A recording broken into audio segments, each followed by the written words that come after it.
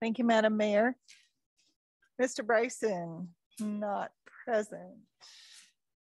Um, Ms. Hale, Here. Ms. Hughes-Skandijs, Here. Mr. Smith, Here. Ms. Triem, Here.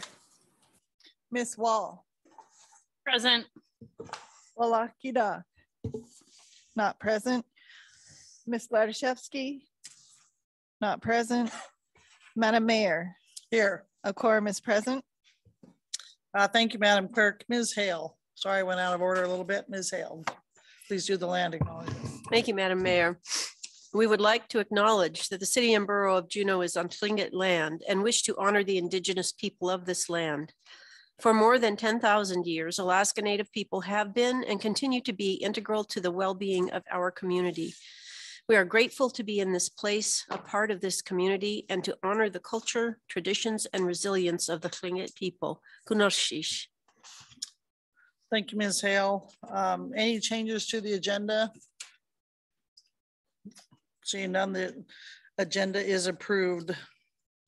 Special order of business, uh, Madam Clerk, will you give instructions for public participation? Although we probably haven't anybody identified themselves. but- Um, thank you, Madam Mayor. I did not look at the back of the room to see if we have anyone that signed up, Okay. but let me check that out. But no, we did not have any advance signups, um, according to our rules. There's no one signed up. There's no one signed up. No one signed up. All right, No one has signed up in the room, Madam Mayor. Thank you, Kate. uh, thank you. Uh, um, please note, Mr. Bryson has joined us and we will go on to agenda topics and item A, Madam Clerk.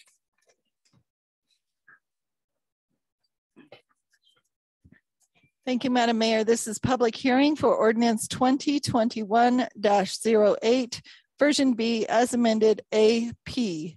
An ordinance appropriating up to eight hundred thousand dollars to the manager for the Eaglecrest Gondola Capital Improvement Project. Funding provided by general funds. Uh, thank you, Madam Clerk. Mr. Manager. The purchasing officer is processing bids to transport the gondola from Austria to Juneau, which was initially estimated to be four hundred thousand dollars. However, the potential lowest bid is nearly eight hundred fifty thousand dollars, and the other bid is nearly one point one two million.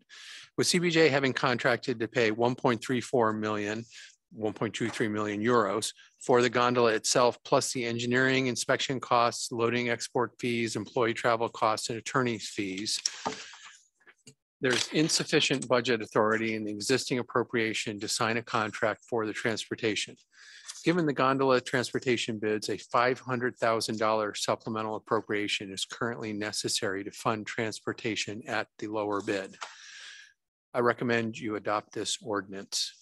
Uh, thank you, Mr. Manager, and we didn't have anybody sign up to testify on this one, although I see that we do have Dave Scanlan in the audience. If uh, we need to ask him any questions. Um, First, let's go with questions. Anybody have any questions for Mr. Manager? Mr. Smith? Thank you, Madam Mayor. Mr. Manager, could you give us an update on how conversations with Goldbelt are and their potential willingness to spend up to 10 million for this project? Thank you. Mr. Manager? Uh, Thank you, Mayor. Uh, We have met with Goldbelt, Mr. Scanlan and I, and we had a very good conversation. So I feel very, um, I feel very comfortable that a deal is achievable. Um, We, we talked through their general thoughts, um, and it really is uh, a purely economic deal that they're interested in. So I think there was some trepidation from uh, members of the public that there might be a control issue at Eaglecrest, and I don't foresee that to be a problem. Uh, I've also been in a lot of contact with the municipal attorney, uh, and he is uh, going to be using outside counsel who's worked on uh, complicated uh, public-private contracts that we've had uh, in the past. So I think that's a really good resource. Uh, so I, I, I feel very optimistic uh, that a deal with Goldbelt is achievable. Thank you, Mr. Manager. Any follow-up, Mr. Smith? Any further questions? I have a couple. Um, Where are we in the negotiations to purchase this? Have we bought it? I guess is the question. Yeah, yes, Madam Mayor, we are well on our way to owning a gondola. I don't remember exactly how much money we have spent to date, but it's close to a million dollars that we've spent to date on the gondola. And that's because after the last, I believe it was committee of the whole meeting in early April, uh, our city engineer, city engineer, ski area manager, and a contract uh, engineer went over, inspected the gondola. It, uh, my understanding is that uh, it was exactly as was described in good, good to great condition. And it's on its way to being disassembled for loading. And the target date for the CBJ to get title is May 20th.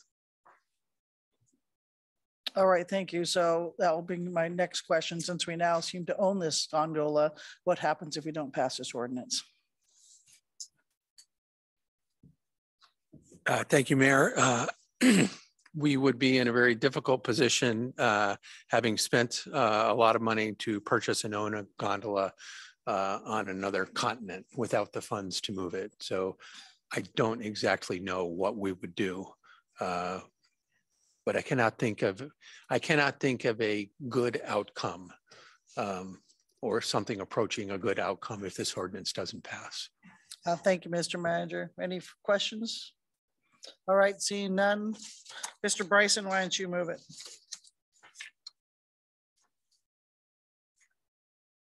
Madam Mayor, I don't have a, the ordinance in front of me. What was the number of? Thank you, Ms. Madam Chair. Um, I move that the Assembly adopt ordinance twenty twenty-one 8 B as amended AP.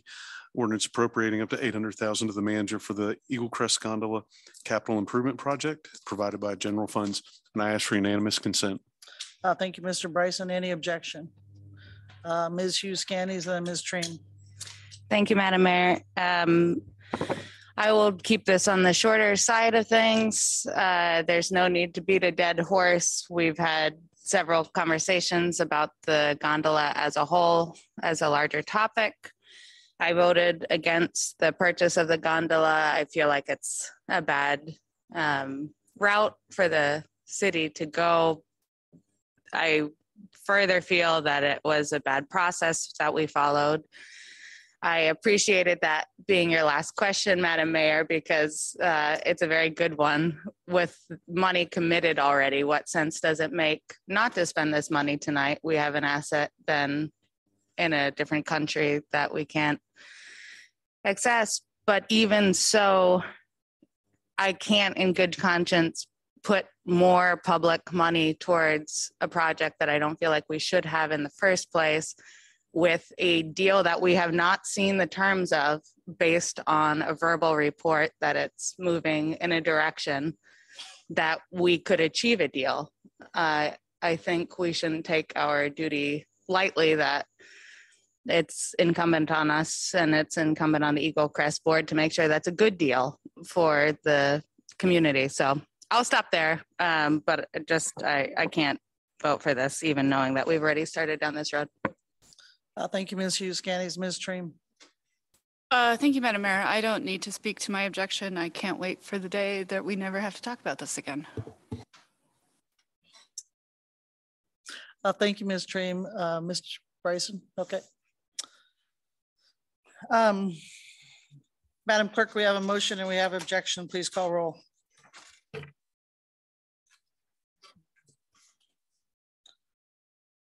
Thank you, Madam Mayor, for um, approval of ordinance 2021-08 BAMAP. Uh, Mr. Bryson Yes.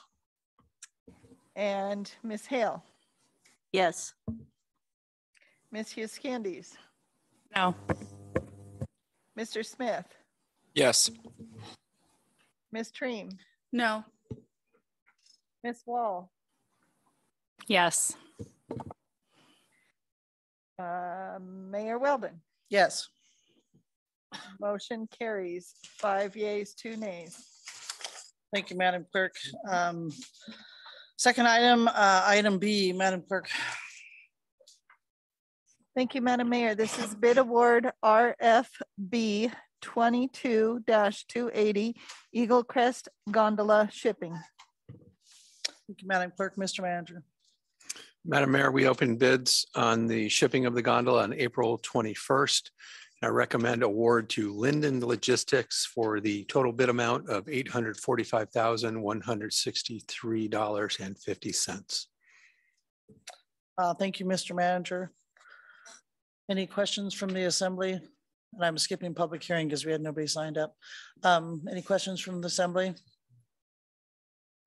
I might, I have one quick question for the storage. We just had no response. On the storage piece, it says no bids were received. Mayor, I'm- Mr. Scanlan is uh, uh, nodding his head that that is correct. No bids received for the storage. All right, thank you. Um, With that, uh, Ms. Hughes-Skandijs, would you move? Thank you, Madam Mayor. I move that the assembly accept bid award RFP B twenty-two two eighty Eaglecrest Gondola Shipping. Is that sufficient? Award it to Linden Logistics. Oh, thank you, sorry. I, it's been a while since I moved to We have bid. Have the bid amount too, Mr. Attorney. Thank you, Madam Mayor. It would be helpful if the bid amount was read out just so we can be. Yes, absolutely. Uh, Are we accepting this bid essentially? Were we Okay. awarding it? Oh, thank you. Thank you, Madam Mayor. Uh, I move that the Assembly award bid RFPB twenty-two two eighty Eaglecrest Gondola Shipping to Linden Logistics in the amount of eight hundred and forty-five thousand dollars, one hundred and sixty-three dollars and fifty cents. Any objection? Seeing none, so moved. We are adjourned.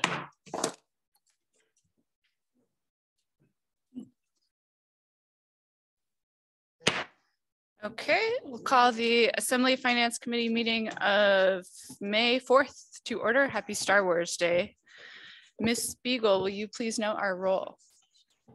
Thank you, Chair Triem. All Assembly members are present in chambers besides Assembly Member Gladziszewski and Assembly Member Wáahlaal Gíidaak, who are not present. Thank you. Approval of minutes. Any objections to the April 27th minutes? Seeing none, those are approved. Uh, We don't have an agenda approval item on here, but just so the committee knows, we are going to scratch item F, that's childcare stipends update and funding request uh, off the agenda tonight due to those requesters subsequent requests that we remove that. So that uh, topic needs some further review before we discuss it. So we won't be talking about it tonight. So we will get started with agenda topic A, Juneau Community Foundation. Do we have Ms. Gilbride? Yeah, this one.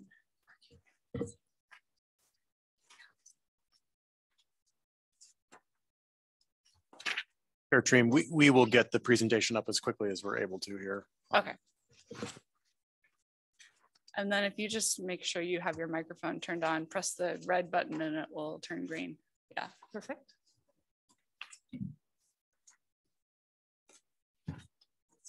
I can begin without it being up. Sure, yes, please, go for it. Hi, my name is Amy Skilbred. I live at 4477 Abbey Way. I'm the Executive Director for the Juneau Community Foundation and just want to thank you for this opportunity to talk with you briefly about our role in social service funding. Um, In 2015, CBJ and the foundation entered into an agreement that combined CBJ's social service grant funds with the Juneau Hope Endowment Funds into one annual grant process. Per this agreement, we provide information to the Assembly about the awards and the social service funding needs, including support for those who are homeless or food insecure, victims of violence, hospice facilities, adult education, mental health, suicide prevention, health, and substance misuse programs. Our grant process includes meeting with providers to establish pri- priorities, reviewing grants through interim and final reports and interviews, a professional advisory committee that reviews letters of interest and applications, staff follow-up with applicants, and committee makes decisions and recommendations to the foundation board. Grants are awarded and announced in early April and given out in July and August. Since 2014, CBJ grant funding has remained constant at $806,400 per year and $47,500 per year for utility waivers. Foundation funding has added between 1 million and 1.15 million per year. Through this year's initial interview and application process, we determined that a minimum of 750,000 in additional funding was needed for this sector. And that figure has grown to between 1.7 million and 2 million as we received responses from 23 agencies that we've kept at a same level of funding for the past three years. And that's in this April 25th letter that's up on up you can see. The 750 in additional funding would meet about half this funding need.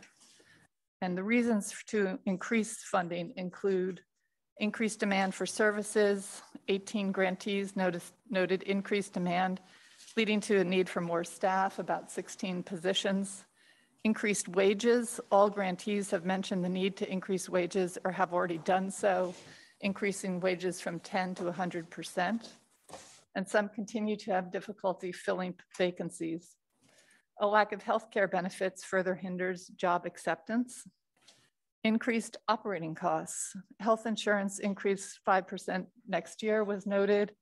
Building insurance, one, one provider had 180% increase in their building insurance. Rent has gone up about 13%. Food, oil, gas, cleaning supplies, and service costs have increased about 11% between 2015 and 2021. So that doesn't include this year. And then the fourth reason is decreased funding ability, um, less earned revenue and Medicaid payments than anticipated. Local fundraisers can canceled. And also what's come up is limits on grant funding because organizations aren't able to fill the positions that they have. And so you can't really go and get more funds for more, grant, um, more positions when you can't fill the ones that you have. So in closing, we appreciate the opportunity to provide the Assembly with information on the increased funding needed to assist community mem members and urge you to provide the full 750 requested. Any additional funds would go through an abbreviated application process and grants would be awarded in August. And then I'd be happy to answer any questions you might have. Thank you, Ms. Skilbred. Does anybody have any questions? Mayor Weldon.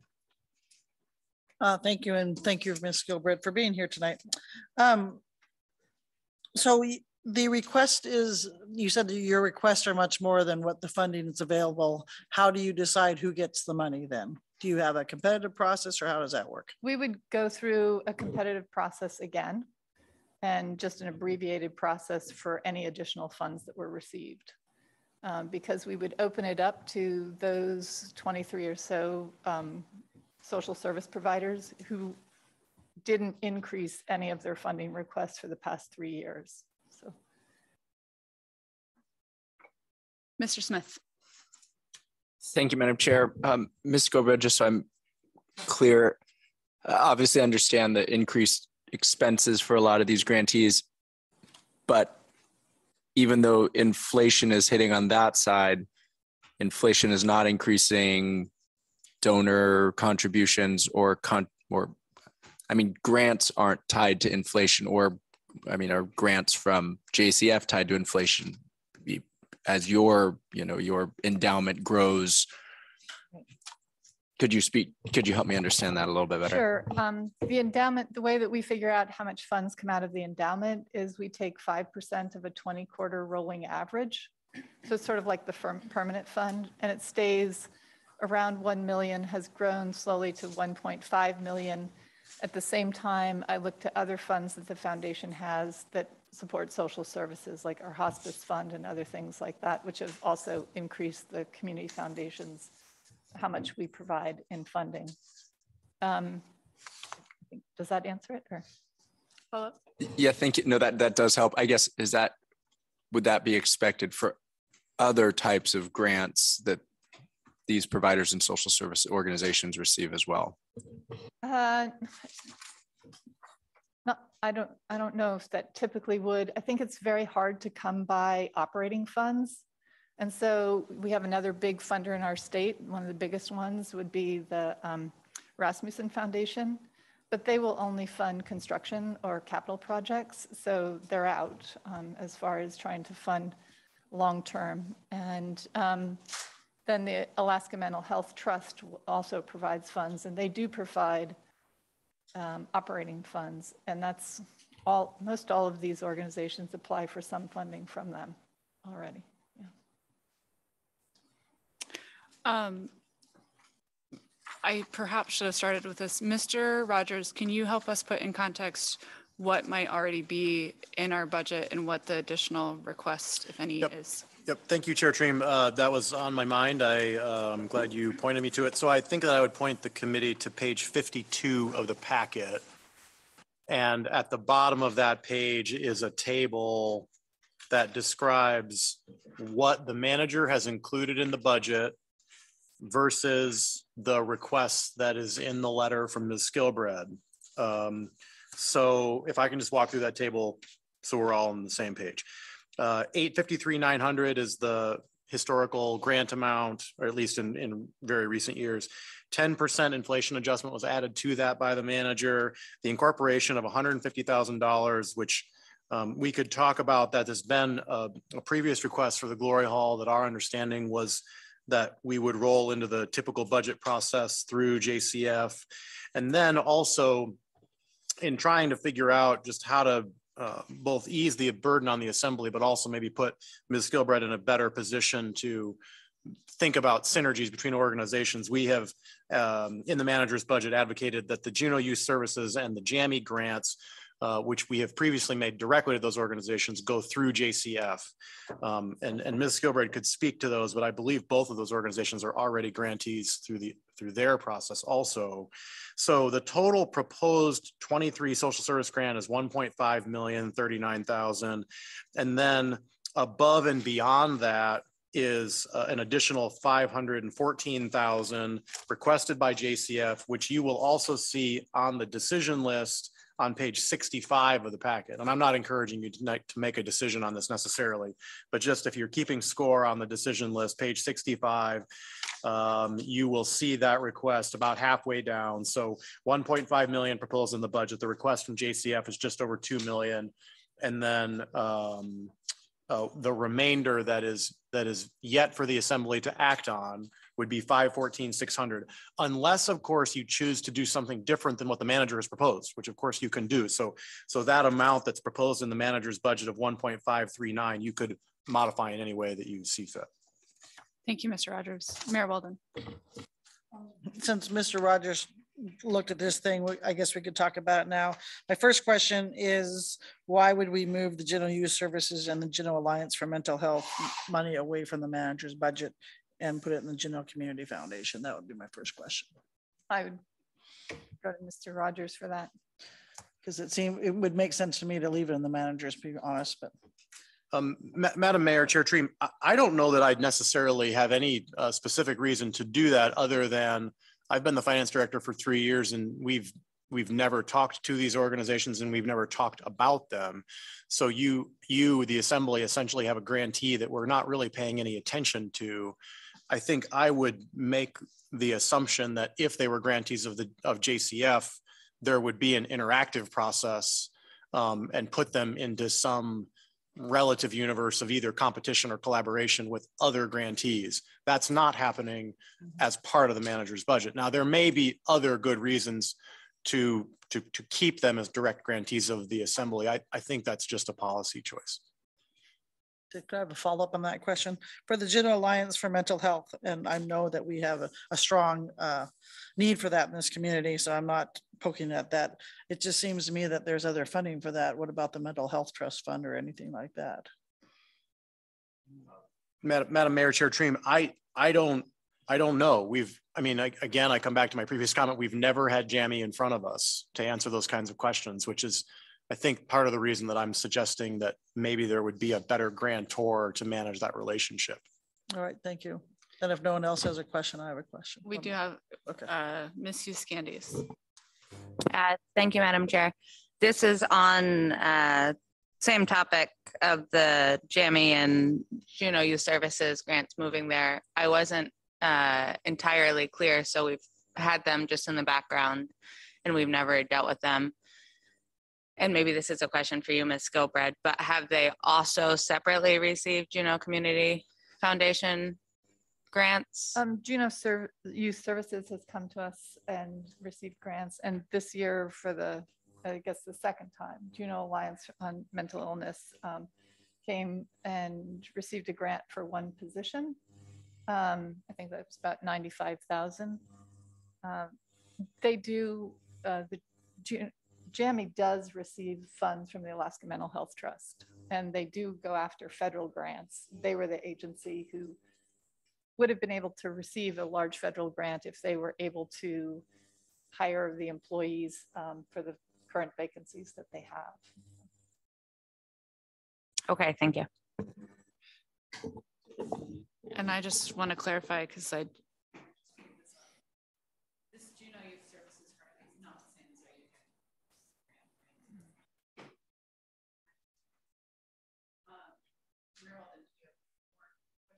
Um, I do. Um, so I see that, um, I'm, I'm looking at hundred fifty thousand dollars for the Glory Hall. I guess I misunderstood this because I thought we funded it one time in FY twenty-two. So I'm surprised to see it's a recurring cost because I don't think that was the assembly's intent. Um, as I recall, when I made the motion, it was to move it to General Community Foundation, but it wasn't just so Gen- General Community Foundation would come to us with a request for hundred and fifty thousand dollars mainly, which was a name change. It was to help put them in a more competitive process and they would have to justify where that, why they needed that hundred and fifty thousand dollars over somebody else. So I don't know if we need to speak for that or we need to get the will of the body here because I thought that was a one-time thing. That we did twice, by the way. Yeah. If I could play the Arrested Development. Mr. Rogers, it's Groundhog's Day. Thank you, Chair Triem. So, um, I, you know, we have a uh, verbatim transcript of that particular five minutes of that hearing, which I've reviewed many times and did again today. Um, it, it seemed at the moment like the, I mean, it seems to staff, like at the moment that the intention was that that $150,000 would be funded going forward, but it would come through a normal budget process rather than the Glory Hall coming to you um, indi- individually and independently. Um, if we've erred in that, I think you should strike it and direct JCF to merge it into their typical uh, allocation process. Um, I might caution you that if you do that, I expect that you're going to get a letter from the Glory Hall asking for $150,000, which you would then have to act on separately. So um, if, if, if staff have erred in that particular decision, I, I think it's appropriate to correct it now. Um, I will say for future, next year, Mr. Rogers and next year, Ms. Spiegel, I never intended it to be ongoing. So just make that clear for the transcript for next year, but uh, Mayor Weldon. I would make, oh, sorry. sorry. I need to Um, look this let- way. Have Mr. Bryson talk and then I'll make a motion to make that quite clear. Okay, uh, Mr. Bryson. Uh, Madam Chair, uh, I was just going to let you know that if we were going to discuss the Glory Hall any further, I need to disclose that I'm a board member. But if we're not following down anymore, or are we? I didn't know that we were going to talk about the Glory Hall tonight. Uh, Madam Mayor, should I check to see if I'm, if I need to recuse myself from this? Should certainly check. So let's, well, I can't give us a recu- uh, uh, recess for a moment. So that's up to the chair, but he should certainly check. Sure, we'll take a short recess for that.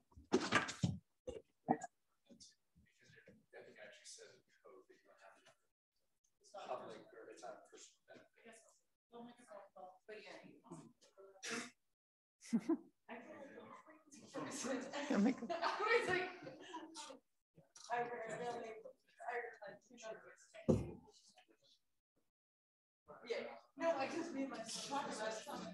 I don't mind being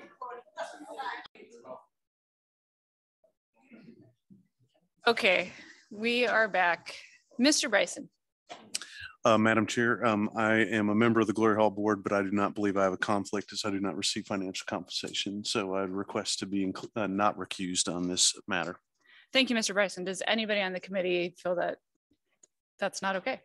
Okay, I see no objection to that. Um, Mr. Smith, were you raising your hand on that matter? Sorry. Um, Or did you have something else? I thought I saw your hand before we recessed. My hand was up. I, I'm, but maybe I should wait to, we can just, I'm not tracking well on this, on the Glory Hall additional funding thing, but if, if Mayor Weldon's gonna make a motion, then we can, I can probably figure it out Okay. then, or ask questions then. Thanks. Mayor Weldon. I'm trying to make this as clear as possible because this was my intent when I made my original motion. Um, I move that we withdraw the hundred and fifty thousand dollars that we are, seem to be doing in perpetuity, in perpetuity to the Glory Hall and have them go through the comp- competitive process of the Juneau Community Foundation if they need more funding than what we have in our budget already. Um, That's my motion. Does that make sense, Mr. Rogers? Is that clear enough? Madam Mayor, Chair Triem, I think what I understand your motion to do is to reduce the amount of the FY twenty-three social service grant amount that is in the manager's budget going to JCF, but to reduce it by hundred and fifty thousand dollars. Correct. Mr. Smith. And Oh, sorry. may I speak to my motion? Yes. So we did this as a one-time funding, and Mr. Rogers can correct me in FY twenty-one, and then we did it again in FY twenty-two as a one-time funding, just to try to help them through the COVID process. But at this time, I think that uh, they need to figure out their operations and um, not rely on this in addition to what we already give them. Thank you, Mayor Weldon. Mr. Smith. Madam Chair, a question, and then I actually might have an amendment to the motion. Um, Mr. Rogers, could you, could you explain to me the history of this? I'm, I'm not remembering and not tracking, so please help me. Um, Assemblymember Smith, Chair Triem, I, I'll explain what I can remember, uh, and I, and it's, I think it's fairly straightforward. So the Glory Hall has not been, um, recently a grantee of, uh, certainly not in this amount from the, um, typical social service grant process through JCF. Um, they came to the assembly two years ago and asked for hundred and fifty thousand dollars. You agreed to that one time. There was some confusion at the time. They thought they were going to get it the next year. JCF thought they were going to get the next year. It wasn't built into that year's budget. They came back in the following year with a supplemental request for $150,000 to match what they had had the previous year. Um, in a, you know, the assemblies had a number of conversations about this particular request. Um, I think staff took from that that you were comfortable with, I, and, and, and I think I'm going to just admit that I, maybe I'm wrong, but I think that we had assumed or understood that you were comfortable with $150,000 going to Glory Hall, perhaps annually, but that you wanted it to go through the typical JCF process. And maybe where we failed to get lined up correctly was that it sounds like the intention, at least of the mayor, was that the $150,000 would come from the money that was already being appropriated to JCF for social service programs rather than in addition to that amount. So the, the, the staff approach in the manager's budget has been to make that amount additional to what JCF has historically received uh, rather than inclusive of. Oh, Thank you, Madam Chair. So on page fifty-two of the packet in that table that you had shown us earlier, I think I'm confused, but maybe I'm getting it now. It, it says additional request for TGH to the Glory Hall, parentheses, funded in FY twenty-two via supplemental appropriation, hundred fifty thousand. So that isn't, that, that is just like more of an information note that it was done in FY twenty-two. There is a addition, there is another appropriation in the, in the current year or in the next year FY twenty-three budget for hundred fifty thousand. Your understanding is correct. Very good, Madam Mayor, or Madam Chair. I'd like to amend, I'd like to offer an amendment to the mayor's motion. That, that would be to not, Could I ask a question? Um, we have other folks in line for questions. Somebody. who- It's actually, it's actually a, just an order question. If I wanted to.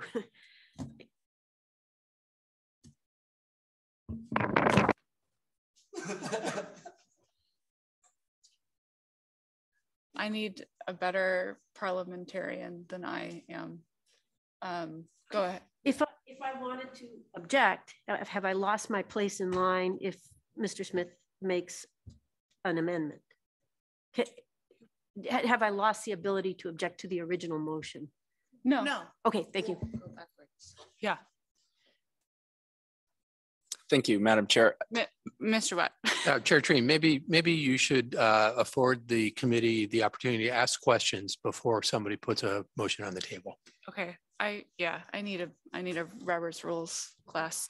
Ms. Hughes-Skandijs, do you have a question pertaining to the mayor's main motion? If you don't mind, Mr. Uh, thank you, Madam Chair. Uh, my question, I might have two questions, but my question for Ms. Skilbred would be, if this motion were to pass and that extra funding were to go away, I am timeline wise trying to remind myself when you make decisions with your pot of money. I'm trying to see what the practical effect for the glory hall would be. So the April 11th letter that's in the packet Mhm. has as the last page, the grants for this year.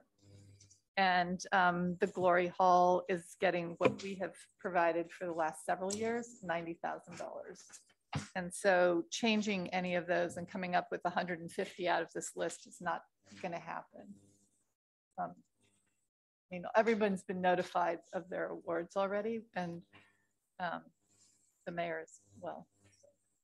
So to make sure I'm understanding you correctly, so the Glory Hall has been notified they're getting ninety thousand dollars from the Glory or from the Community Foundation. Right. And if that funding were to be struck, then The 90,000, they'd still, they'd still get, right, but they wouldn't get it. right. Okay. You know, the 150,000, as with any grant agreement letter that we send out that includes CBJ funds, is always contingent on what the budget is adopted. Right, But- right. but Okay, thank you. And If you could just give me a second, I have a second one for Mr. Rogers, and I think I'm losing it. Can I come back to you? Yeah. Ms. Hale. Thank you. Um, I, I guess this is a question for Madam Mayor and perhaps the committee as well. Yeah, I, I just wonder since I, I, I certainly didn't plan that we would be taking actions like this at tonight's meeting. I thought we were more in, still in an information mode. And I doubt that the board or the board president of the Glory Hall planned that as well. And I, I just wonder if Madam Mayor might be willing to postpone the motion until there's somebody that can actually speak to it rather than uh, being caught flat-footed watching us on Zoom or YouTube. Mayor Weldon. I could withdraw my motion and we could discuss it at a later meeting, but I'm just, I don't think they were expecting it because it wasn't supposed to be something that was perpetual. It was something that was a one-time thing and they're still getting their ninety thousand, but if it would make Ms. Hale happier, I can postpone it. Okay. My thought was just to make, my amendment to the motion was going to be to move it to the decision list. So then it's kind of in that hopper. We know there's, we know it's, I mean, because as of now, it's proceeding again as if it's in the budget at 150,000, right? If you, if you were to remove your motion, it would just be as the budget as proposed, whereas we move it to the decision list, we could then expect information from the Glory Hall and the Juneau Community Foundation anyway, and might, it might say, what is the necessity for this? Versus, yeah. Well, I guess I will ask a question of Ms. Skilbred and how you would have interpreted this. Would you have interpreted this as, um, th- so the assembly doesn't get involved in the competitive process otherwise, but would you have interpreted this as the assembly is earmarking $150,000 for the Glory Hall every year? Uh, To the chair, um, my conversation with Mr. Rogers on this was that um, these funds would go into the actual pool and um, decisions would be made with sort of the understanding that until the Glory Hall gets their feet under them, you know, that, that this is some amount that they would need. Um, And I would say that if that 150 comes out, then the page 52 needs to change from an additional $514 to an additional $664 because our request for 750, well, it included all organizations without. Uh, Let's fill it up, please. Sorry. We have,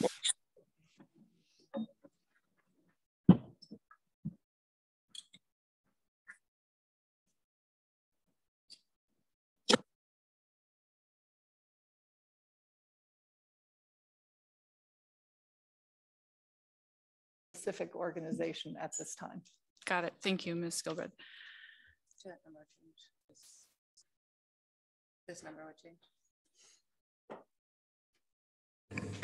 Uh, Ms. Skilbred, you said the number on page 52, that number would change to, Um, six hundred and sixty-four thousand, six hundred and ten, and that's adding in the hundred and fifty without any specific designation to it.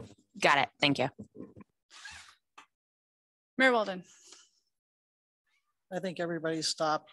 So I'll just make it simple and I would move um, uh, Juneau Communities Foundation additional requests to the decision list. And the manager's budget part of that? Well, we can deal with it then, correct? Sure. Okay. Chair, Chair Triem, for, so for all practical purposes, this is already on the decision list. Um, we, we anticipated you would need to come back to it. So I, I think that direction is fine. And with it, on- and the, and the entire thing is on the decision list. You can think about this and revisit it. Thank you, Mr. Rogers. Okay, we'll move the whole shebang to the decision list. And I apologize for Ms. Skilbred for being the first one that we had to have a rocky start with. Yes. Glad I was the first. Thank you, Ms. Skilbred. All right, thank you. Okay.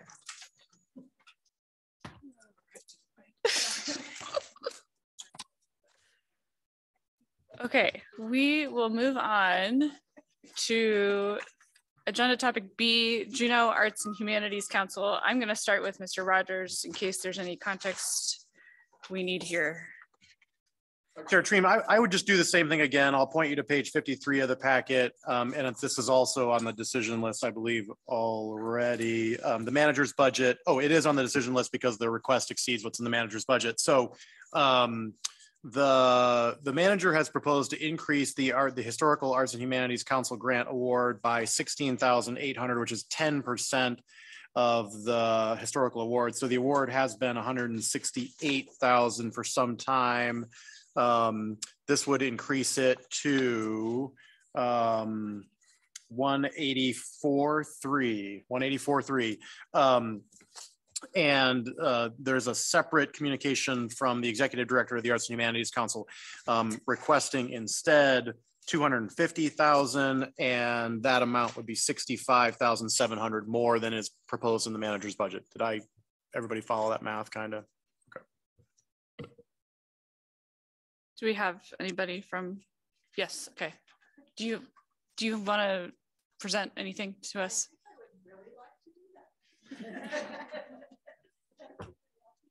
Yes.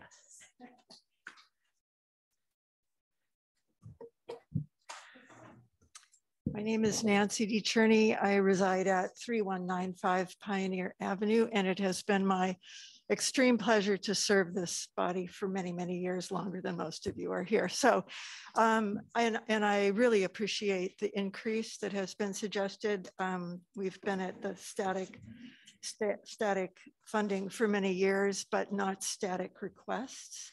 And I would note that this year, our requests jumped from nine or 10 to 16 different organizations having requested funds from us, which is, um, it's exciting that Juneau's so full of excitement and vibrancy and all that other sort of stuff. I, um, I think that you all should be very proud of your arts sector. And I draw your attention to the amount of money that the arts sector does bring in from the outside, outside of Juneau into our community. This year, of course, was pretty exceptional. A lot of that was COVID related, as was the previous year, but it always exceeds a million dollars, at least more than that. It Comes in from outside of the, the city confines into our community and gets spent on um, payroll, gets spent in our shops, gets spent as uh, as you would like to see. So I, I would like to strongly advocate that the assembly look really carefully at the arts sector as when I first started, I called it a gold mine that was renewable. We have such creative people in this community. They put out all the time and um, are really, um, as you know, uh, Sealaska Heritage has a vision of making this the Northwest Coast art capital of the world, the universe. And um, we back them up on that. And I think this community um, stands head and shoulders above most in the United States. And this draws people to our community to live, even though it's very um, hard to live here uh, for cost reasons. Anyway, I, I'm just here to speak um, on behalf, you were going to put up pictures of my beautiful people. Please put them up. the Arts Council serves as the umbrella organization. Somebody, uh, that, as you know, I'm retiring and the search committee has been conducting surveys. Reggie tells me that somebody referred to us as the mother of the arts, that we nurture, grow, and send out. And um, these are all but one of the organizations that are requesting funds this year. Um, but you can see what goes on. Um, we stand, I'm here representing those folks and all of the hard work that they do to thank them and also to just encourage you to look upon the arts sector as the future for Juneau. It's, it's you're gonna find that it's, um, it's what makes uh, Juneau Juneau. And uh, thank you for the opportunity to speak strongly. you can ask me questions. I'll make it up as I go on. Thank you, Mr. DeCherney. Any questions? Ms. Hale. Ms. DeCherney, wouldn't you say that you're the mother of the arts in Juneau? well, not necessarily. I have always said that whatever the Arts Council has accomplished, it is because of all the people it is has been a community effort and it continues to be a community effort. So we live in a very, very, uh, you know, it's one of those places where somebody comes up and says, hey, what if we did blah, blah, blah? And we say, sure, let's do that. And, and all kinds of crazy things go on. And I, so I do not want to take credit for the stuff. I want to give credit to the, credit to the people for being people, creative people. Thank you. Thank Anything you. else you need? Mayor Weldon. Thank you, Madam Chair, and thank you for Ms. DeCherney for being here and doing great work uh, through COVID and beyond, and before that too. But my question actually isn't to you, it's to Mr. Rogers. Sorry, apparently I spent too much time reading my packet.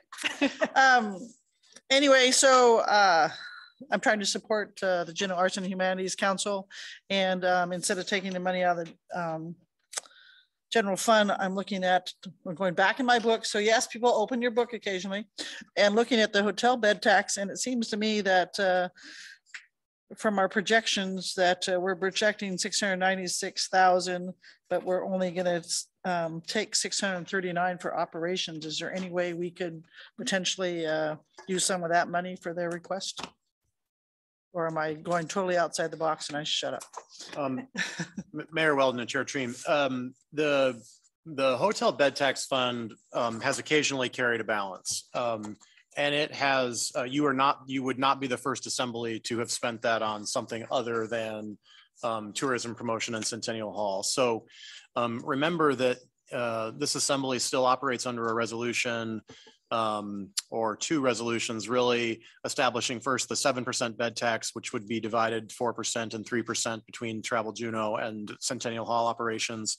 Um, and then also um, an additional 2%, which was uh, voted in temporarily um, to pay for improvements to Centennial Hall. So um, it- you know, it- again, we, uh, we, you, the assembly have funded other organizations from Hotel Bed Tax, including DBA, which is also on the calendar tonight. Um, during the pandemic, that became problematic because Hotel Bed Tax, the fund didn't have enough money.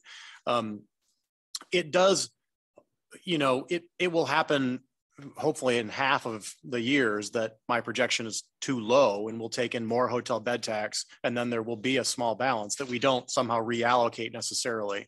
Um, I don't know necessarily that I would advise you either for or against using hotel bed tax rather than general funds. The, the, the thing I would caution you with is that if it becomes an ongoing um, funding necessity, um, it eventually becomes a burden of the general fund if the hotel bed tax fund can't pay it. So um, I think it's really up to you. We, um, we staff did talk about this issue actually, just with the balance that's going to be remaining in hotel bed tax.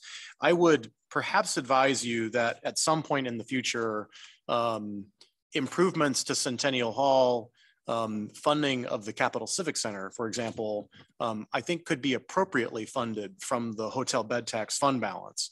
Um, which is not to dissuade you from funding something else from there, but I, I wouldn't necessarily assume that balance will sit there forever. I think we are looking at a circumstance the next few years where that balance will be attractive for uh, capital improvements at Centennial Hall.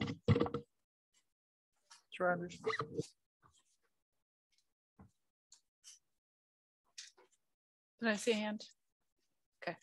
If, uh, since I see no further questions, Madam Chair, um, reluctantly, I would move the additional sixty-five thousand seven hundred to the decision list.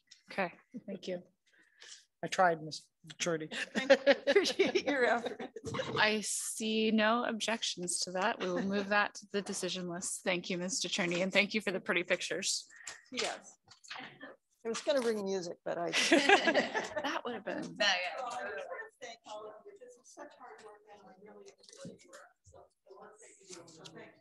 Thank you.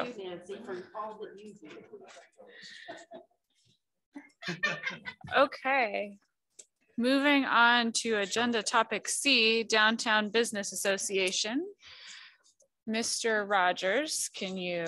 Yeah, thank you, Chair what we're looking Triem. Um, uh, Alex Freybeck is here to present uh, on behalf of DBA. Um, If we just do the same little page uh, shuffle back to the decision list. Um, DBA uh, is not in the manager's budget. That was the direction of the assembly, which was one-time funding, which I hopefully I correctly interpreted as one-time funding. Um, But now there is a request from DBA for seventy-five thousand for operations. And, and the only note that I would make about DBA is that um, CBJ separately, unrelatedly grants passenger fees to DBA to operate the Downtown Ambassador Program, which is separate from this request. Um, And beyond that, I think I would um, pass along to Ms. Raybeck. Yeah. Hi, Alexandra Vraybeck. I reside at 3820 North Douglas. Um, and I am the director of the Downtown Business Association. And I'm joined tonight by two of my board members, Lisa Parody and Duff Mitchell. Thank you for being here with me today.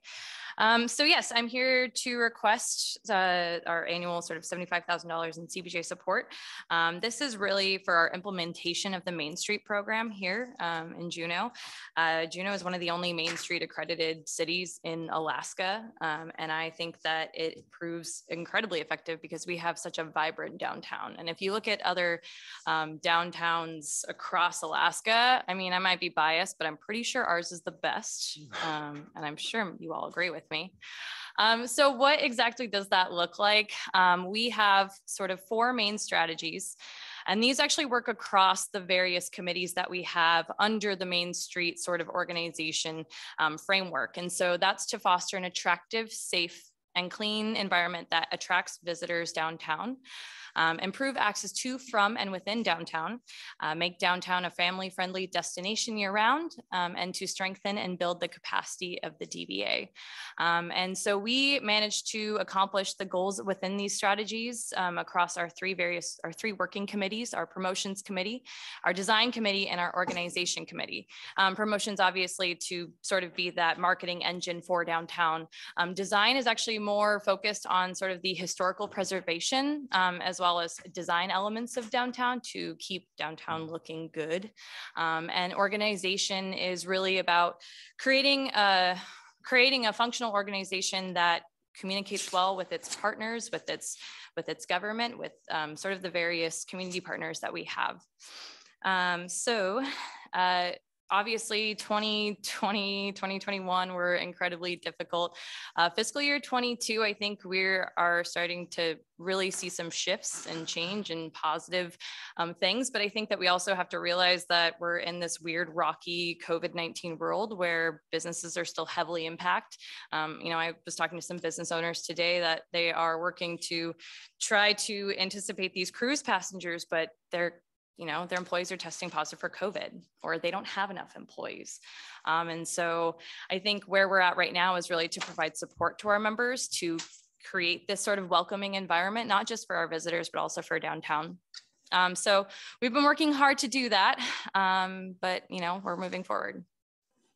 Um, so a couple of accomplishments that I really want to just say uh, again for this past year. Um, I mean, I'm sure many of you attended Gallery Walk as that came back. Um, we were also involved with um, a, a, promotion recently, and I put down that we saw, uh, I think it was um, $40,000 in spending. It actually ended up being $70,000. I finished up counting cards today. We saw $70,000 spent downtown between uh, restaurants restaurants and retailers um, just in the last four weeks um, with our punch card promotion. Um, we installed 3,000 feet of lights um, to again provide a safe environment downtown at night. Um, and that work will finish in the fall. Um, and we will have a big downtown lighting to show off the beautiful cityscape that we have here. Um, just incredible amount of marketing, really working with our partners, you know, Travel Juneau, Jack, um, I mean, everyone just to promote downtown is a really great place to spend your time. Um, so looking forward, um, as mentioned earlier, we do run the ambassador program and we are bringing that program in-house or we brought that program in-house last year. We actually employ staff um, and I run that program with um, assistance with JEDC um, to really create a positive, friendly face for our visitors as they disembark from their ships. Um, we will continue to support plans for the electric downtown circulator um, and continue exploring options for increased lighting. I think having downtown as a warm, welcoming place is really important. It keeps it safe, keeps it clean, um, and keeps it as a great capital city. Um, we'll just continue to advertise, market. Um, we're actually working with um, the uh, Juneau Douglas City Museum to really highlight the history of downtown, including, as I mentioned, design being the historical preservation aspect. That's really something we want to work with moving forward is highlighting that history and um, promoting that. Um, and again, more, more activities to bring people downtown. Um, so yeah, I think think that's most of it. Um, you know, I feel like the last year I've uh, really worked well with our board to communicate with you guys on the needs of downtown um, and also to meet whatever needs and expectations you have and want from downtown to get that voice. Um, and we will continue to do that. So, uh, so yes, please, I encourage you to continue helping us implement our Main Street program. It's an incredible uh, program that's implemented across the country and it is effective and, and really creating centers of communities that are economic engines. Thank you, Ms. Raybeck. Any questions? Ms. Hughes-Skandijs. Thank you, Madam Chair. Thank you for being here tonight. I had a question, if you could just elaborate a little bit. I've heard a lot about the benefits of Main Street, and I thought last year um, that DBA was still like seeking accreditation with or becoming fully accredited. So is that something we are now? Yeah. And then how does funding go towards that specific piece? Or is it like, do we pay to be an affiliate or could you just elaborate on so that yes, piece? Uh, downtown, the Downtown Business Association is a Main Street accredited program. It's an annual, basically we annually apply, uh, go through sort of a review and apply process. Um, so we recently, I recently did that in April um, and we were approved again. Um, so it's, it's, yeah, it's an annual thing. Um, and what they look at is the implementation of the, the four focus, focus areas that I brought up earlier. Um, and so that's done by, um, so the DBA has this work plan and this is all sort of main street programming that we've implemented um, and that looks at how um, i mean these are annual work plans that go into detail how how these things are implemented and the funding that goes into it and all of that. So does that answer your question? Yeah if you could just follow up. Is there a fund is is there a piece of that that is funded that we're paying to main street or it's just simply a list? There is this annual fee. I believe it's I want to say it's in the $300 range. Really, it's just the resources that they provide and the structure for that, um, and then promotion as well. Thanks. So it's it's minimal. It's not. It's more like a membership. Yeah, more like a membership, but they require that we kind of fit in their box and do kind of the programming that they put out. Thanks. Ms. Woll. Thank you, Madam Chair. Um, thank you for being here. I'm curious about if the 75,000, is that a kind of large part of your overall budget or, you know, maybe estimate kind of how, how much Um, that represents of the total DBA budget? So I, I would say yes. Um, like aside from, so our budget, um, you know, we're working to obviously grow our, uh, the way in which we operate and our expenses and income streams and all of that stuff. Um, you know, obvious, I would say the CBJ grant, um, does is a substantial part. Um, and then we also obviously our memberships, we try to keep that low so that it's easy for people to become a part of our organization. Um, and then we are working to build out some uh, sort of um, sponsored member programs so that, you know, we have more, obviously more income to work with so that we can do better and do bigger projects overall with our own funding. But, but yeah, it is a large portion. Mayor Weldon, do you have a question or a motion? I have a question and I can always have a motion if you need one. Uh, Thank you for your presentation today. And I probably am poking at the same thing Ms. Woll is. It would be nice to see a budget. So if you guys could, if you provide that for us later, that'd be Definitely. helpful to see what your revenues and expenses Yep. are. You ready for a motion, Ms. Madam Chair? Uh, almost. I have one question too.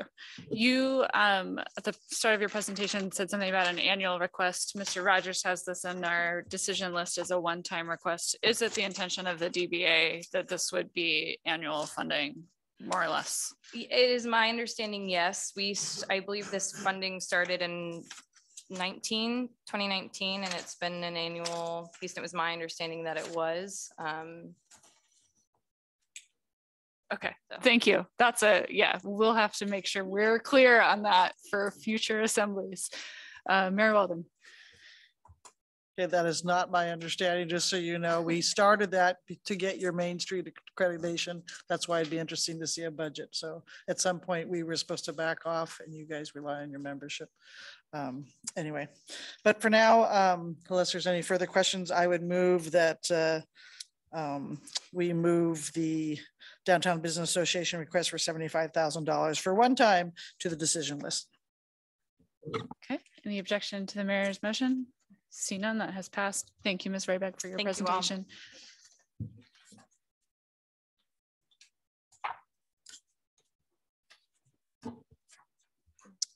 Wait, okay, break. It's break time. Uh, we'll take a 10-minute break. Like nine of them.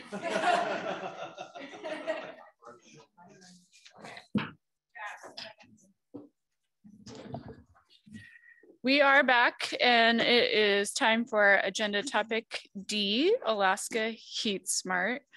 Mr. Rogers, will you kick us off?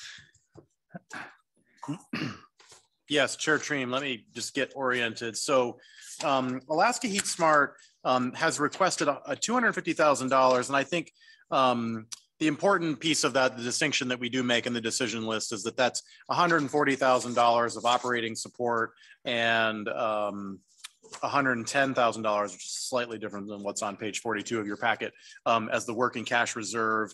Um, So I think um, Mr. Benke will probably eventually get there, but packet page 42 is the breakdown of what that $250,000 request is. Um, The Assembly has previously granted in many years to Alaska Heat Smart, but um, the decision that, the, the notes that we had as staff was that those decisions were all one time. So Thank you, other Mr. that, I would pass along to Mr. Benke. Thank you, Mr. Rogers. Mr. Benke. Uh, Thank you, Madam Chair. Finance Committee members, um, I'm Steve Benke, President of the Board of Alaska Smart. Um, I'd like to call your attention to the colorful handout that we've got here, which I'm going to refer to in a second.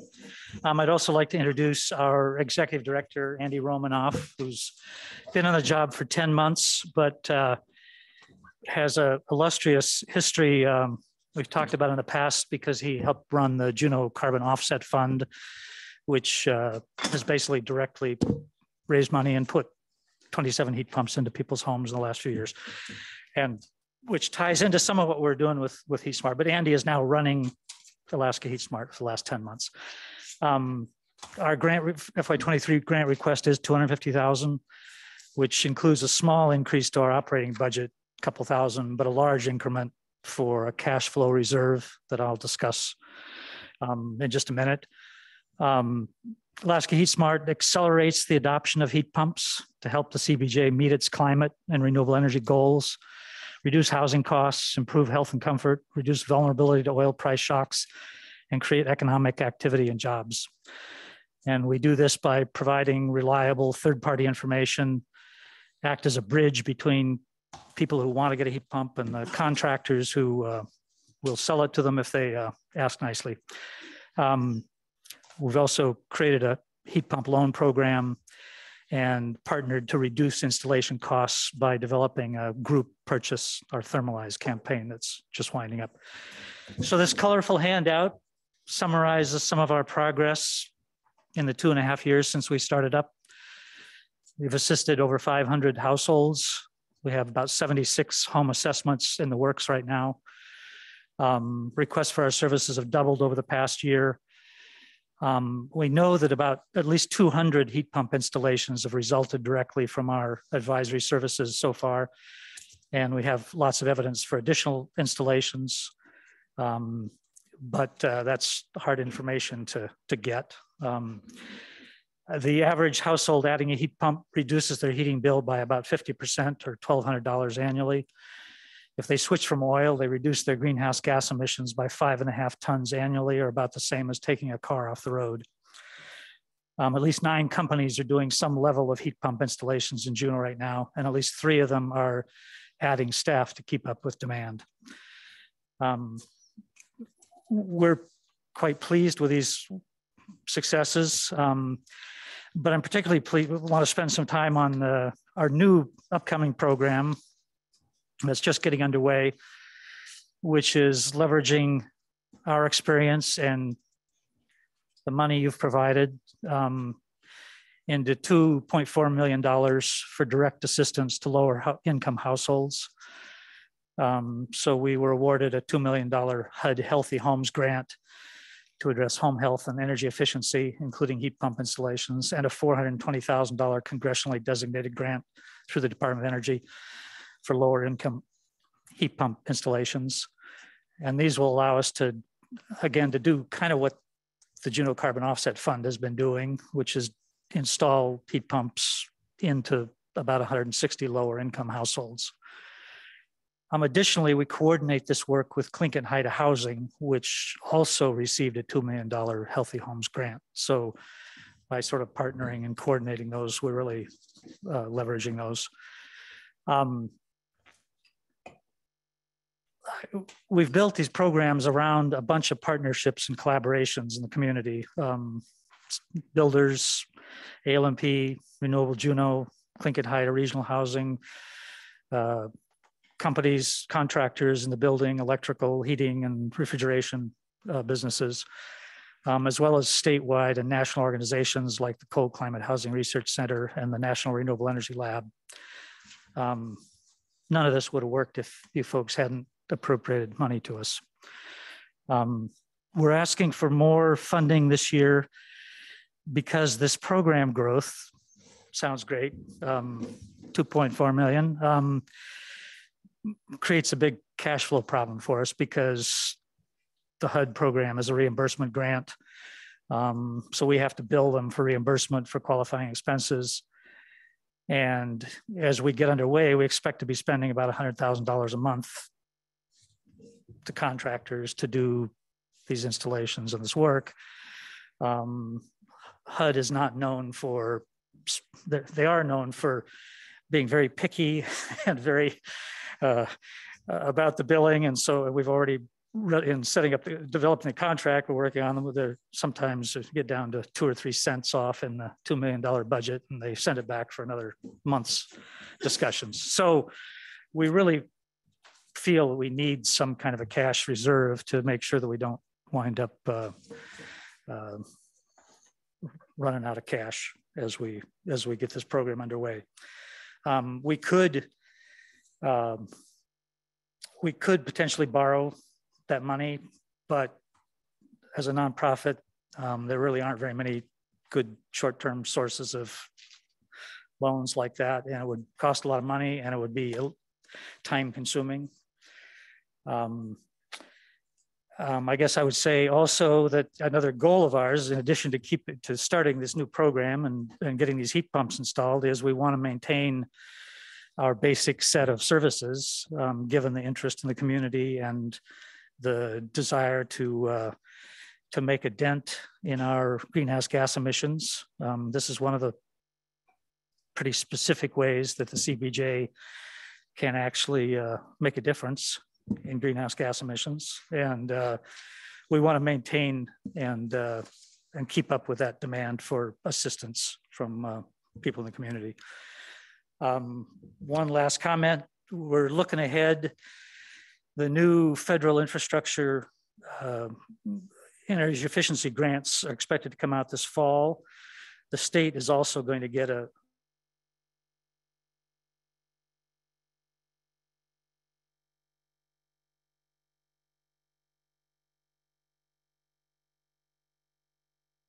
and we intend to be in the room and trying to influence how the state develops that and um, and look for uh, for funding um, to continue these programs. Um, we're also exploring ways to target and assist kind of the middle range of households that have limited upfront capital for heat pumps, but make too much to qualify for our lower income uh, direct installs. And so we're exploring uh, marketing, rebates, other kinds of incentives. Our congressionally designated grant gives us a little more flexibility. Well, we're not sure.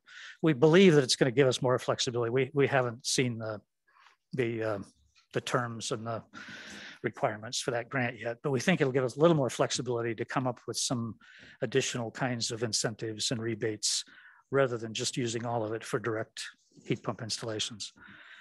So thank you for the chance to describe the program. And on behalf of the board of Heat Smart, I'd like to express our appreciation for CBJ's continued support. Um, and we'd welcome any questions. Thank you, Mr. Benke. Any questions? Mr. Bryson, Mr. Smith, Mayor Weldon. I had uh, two questions, Madam Chair. Um, one is um, in regards to low income homes. How are you dealing with um, rental versus low income home ownership? Um, are you installing these into trailers? What are you doing ab about apartments? And my second question is, um, as you increase the number of heat pumps in the community, at what point does AEL&P anticipate that there might be like uh, not enough energy uh, to fulfill all the heat pump energy requirements? Thank you. Um, the, the first the first question. Um, most of these, the Healthy Homes program works through uh, residences that people own. So, so we're going to wind up working mostly with people who own their own homes. Um, in the congressionally designated grant, that's one of the things that we're going to be looking at is how we can incentivize landlords to put in heat pumps in places. And that, that's actually kind of an ongoing program that we're working with uh, AEL&P on because AEL&P has a strong interest in getting people off of electric resistance baseboard heats heating and, and putting in heat pumps because every time they do that they free up enough electricity for two or three more heat pumps. So so we're working we're coordinating with AEL&P um, on a to, to develop a program that does that. Um, but again it's that's in the works. We're intending to tackle that to try and tackle that this coming year at least a piece of that um, your second question, um, Alec Mesdag was going to be here, but had a family illness and he may be on Zoom, but I, I think that I can probably safely answer that at the current levels of heat pump installation, AEL&P does not have, has not said anything about concerns. They do have some, as I understand, they have some concerns in some neighborhoods where, for example, a trailer park which has very limited electrical capacity. If a bunch of people put heat pumps into those places, they would have concerns about the infrastructure um, and would require upgrades to the to the uh, service to the trailer park and some neighborhoods. But those are things that we're kind of coordinating with them about. Mr. Smith. Thank you, Madam Chair. Thank you, Mr. Benke. Um, great to read about all the different things that the program is doing. You mentioned loans or a, a loan. If you received a loan for your cash flow amount need, how would that work? Um, might want to refer, maybe I could refer to Mr. Rogers um, about that. I believe there have been dis some discussions. Um, Alec Mesdag had some conversations with Mr. Rogers about options for what we should ask, what we should ask for and how to address this. Um, and I'm not really familiar with what a loan might look like. Uh, actually, I'll, I'll step back one, one step. We, we have talked about the idea of looking for some sort of commercial products and we haven't found anything that looks reasonable. We also had the discussion I was referring to with Mr. Rogers was apparently a conversation that occurred with Alec Mesdag um, about what kind of a request we should make. And because theoretically, I guess we could come to you folks and ask for a loan to help bridge this, you know, with this uh, this cash flow issue. Um, but it seemed simpler to to make it as a to to make it a, a grant request. Mr. Rogers, do you have anything to add? Well, Church, and the only thing I would say is I, I think it certainly is um, an opportunity for the assembly to to take this request and bifurcate it and and and consider granting or um, consider instead of a grant a loan for the working capital portion. Um, if you do that, I'm going to encourage you to take it out of the budget. We'll do it separately as an ordinance that prescribes the repayment terms, all of that subject to discussion by the assembly. So I, I think that that's an option you could take.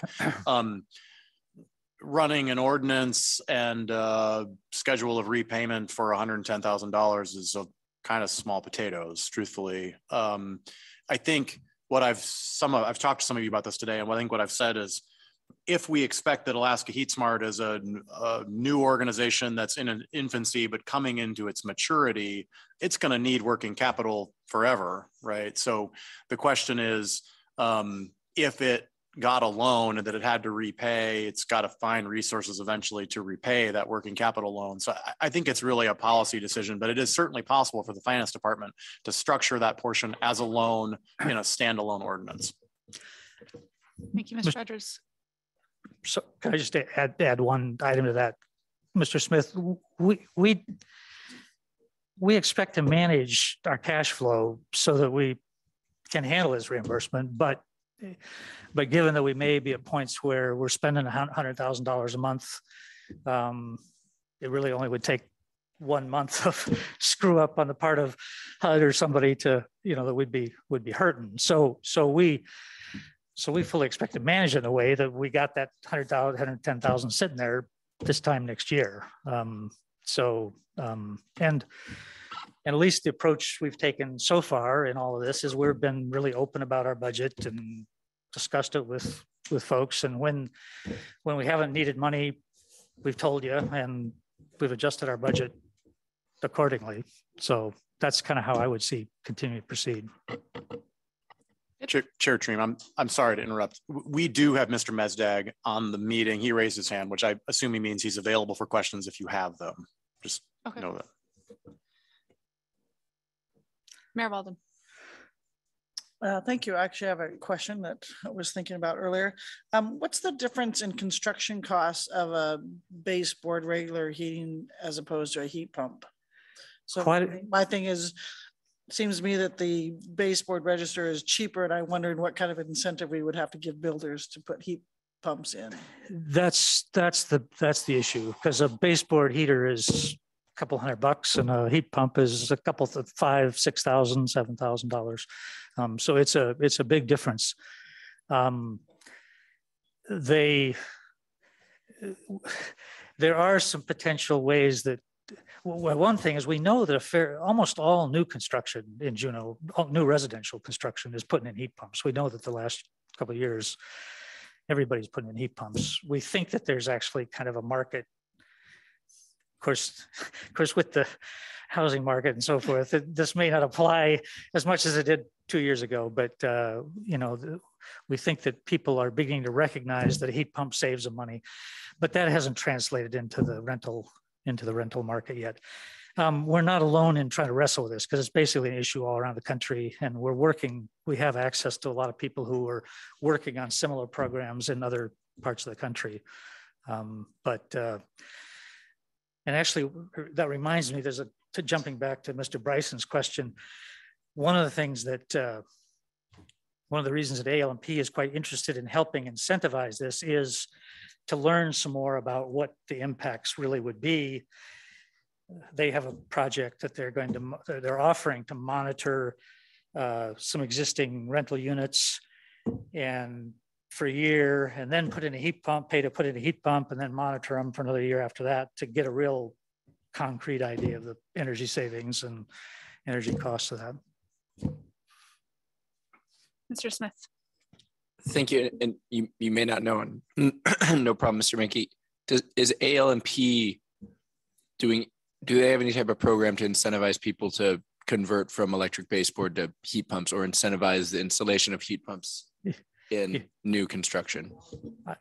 I happy to defer to Mr. Mesdag if he, if, if you want to pull him up, but, but, but the, but the short answer is no, but they are thinking of, it. they're, they're considering it. And some of these studies I was just mentioning are things that would lead into that idea of trying to incentivize um, um, replacement of electric resistance with heat pumps.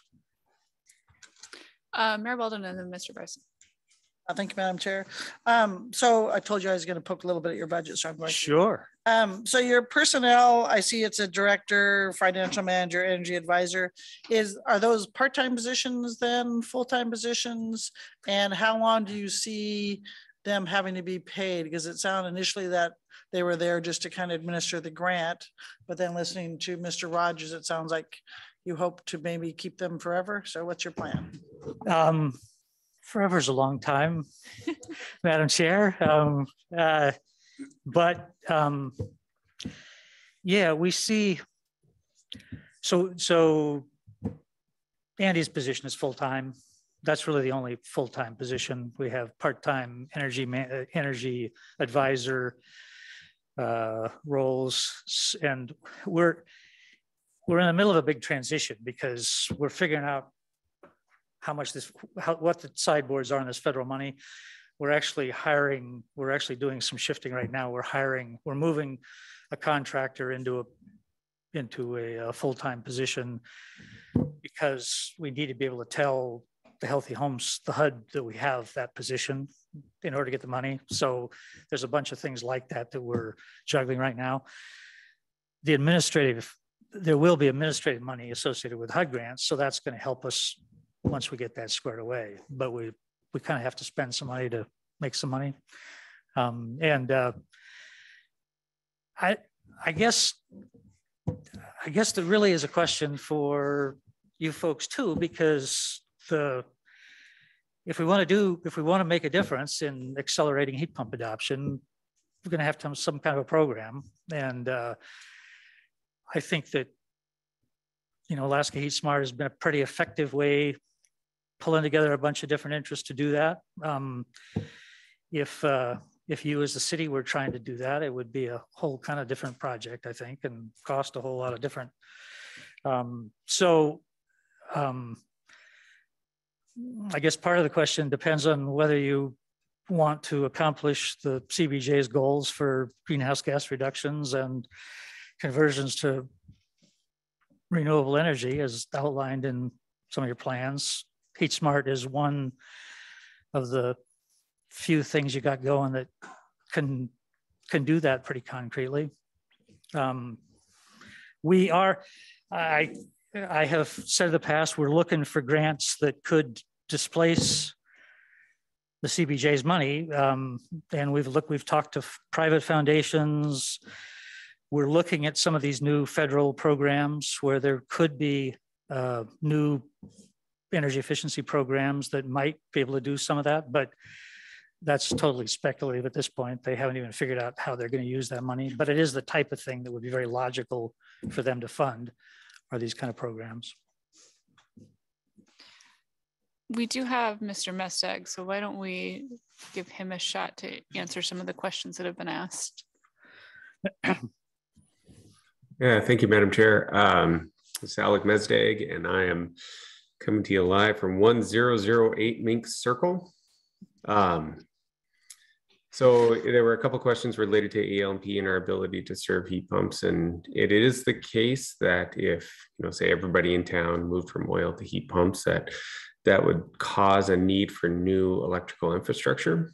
Um, but as uh, Mr. Benke noted, we uh, are very interested in seeing some replacement of electric resistance heat with heat pumps, and, and that does enable us to uh, save some energy and redirect that to heat pumps that are offsetting uh, oil heating systems. And that's something that we see already with Alaska Heat Smart, that many of the people who are interested in converting to heat pump are converting from electric resistance. And, and therefore the, the total um, growth in energy consumption across town is actually not really you know right at this point it's it's certainly not possible to to distinguish a significant increase in the amount of energy that we're selling every year because of heat pump adoption. So that was one concern. And then as it relates to our need for managing our cash flow especially with this hud grant which is a reimbursement grant and the and the rate of spending that we're going to be doing this is about a four year um, think it's just under four year uh, contract.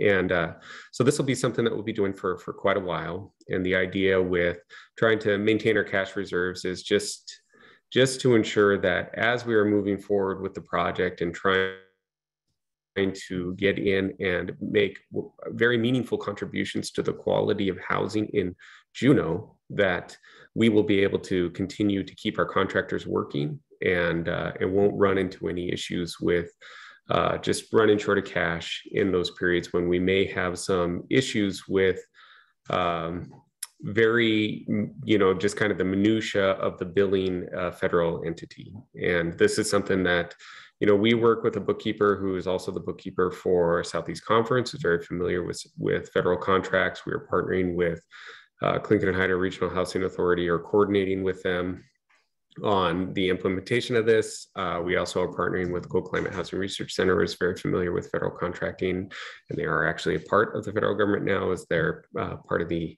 National Renewable Energy Laboratory. So I think that we have a good group of people who are aware of how we can ensure that we limit our um, the issues that we have in billing the federal agencies but uh, but you know it's just it's one of those things. It's it's it, it can be something very very small that runs us into trouble.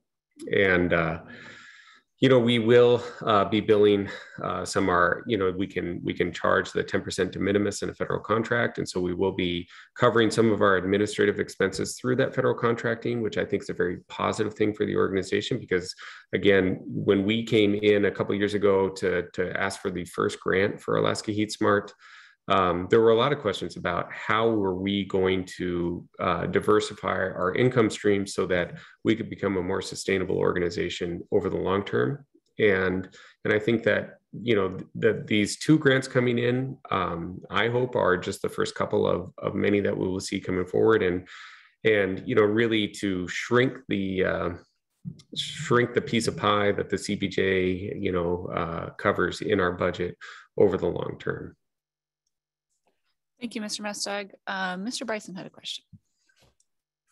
Thank you, Madam Chair. And uh, I think this is perfect that Mr. Mesdag joined us because my question is about utility billing loans uh, to increase the number of heat pumps. Let's say that we can't just give them for free through your grants, um, that other uh, utilities, including, I believe, uh, AEL&P's parent company, Avista, offer utility loans or utility bill pay loans where they loan you the money to get the heat pump and then you pay that loan through your utility bill.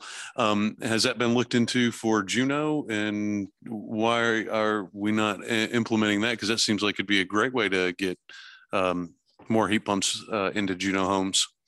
We are getting slightly off topic with that question, but um, um, I can uh, try to answer quickly if you'd like. Yeah, quickly, please. Thank you. Uh, AEL&P is looking into that as one of the two utilities, the other one being the CBJ's water wastewater utility that can also offer that service. Um, we have looked into that, and there are some difficulties about how the way this law was structured in Alaska. Um, but we are uh, we are definitely still very interested in seeing if we can make that happen. And I think the, the the CBJ may also be interested in making that happen. Thank you, Mr. Mesdag. Miss, no, okay. Uh, Mayor Bolden, I have a motion if you're ready. are we ready for motion? I think so. Go Actually, I ahead. have two motions. Okay. I think this one might be one that we might all agree on, but I don't want to uh, flummox anybody. So um, I would move that we add the hundred and forty thousand dollars. um, What do we call it? For the Heat Smart operations as an amendment to the manager's budget, which means we accept it. That's my first motion and ask for unanimous consent. Any objection to that motion? I see none. Oh, Mr. Smith. Question for the maker. So you're not adding it to the decision list? Correct. I Correct. This is one thing that everybody can agree on. This would be approving that request, more or less. I will speak to my motion. The fact that they got two million dollars and then four hundred thousand in grants and they need this money to administer the grants, I'm all in. So uh, my second, are you- do you have an objection to that, Mr. Missouri? I, I think I agree with you too. I am a little bit more on the on our calendar. It's decision list starting next week. We don't have a full membership here. I, I don't really. I just like I get. I'm, it's fine. I'm just like we we've done everything under the decision list, and anyway, that, I will remove my objection. I will. You can tell by my tone I'm a little grumpy about it, but I will remove my objection.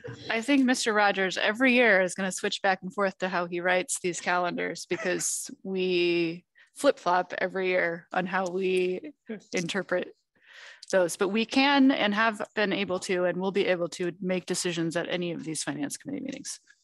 And we get grumpy every year too, don't we? No matter which way we do it, we definitely get grumpy. Mayor, Mayor Weldon. Uh, Yes, and that's one of the reasons I figured everybody was in agreement with this one, so why wait till the decision list? If it was a controversial topic, I wouldn't have moved it. Um, uh, My second motion is to move. Wait, the- we did, I don't know if we, Oh, sorry.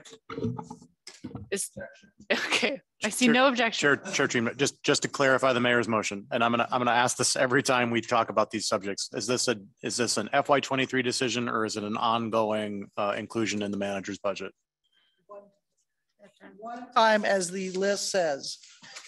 Got it. Thank you. They might need more next year, just kidding. And my second motion is. Wait, Oh, sorry. okay, any objection to that motion? None, okay, I see none. Second, And my second motion is to move the Alaska Heat Smart Grants cash flow reserve to the decision list. any objection to that motion? I see none. That motion has passed as well. Okay, thank you, Mr. Mesdag and Mr. Benke, and Mr. Romanoff for being here. Thank, tonight. thank you very much. Okay, we've saved the best for last. Of people presenting, we still have items on the agenda after that, but of distinguished guests to join us tonight.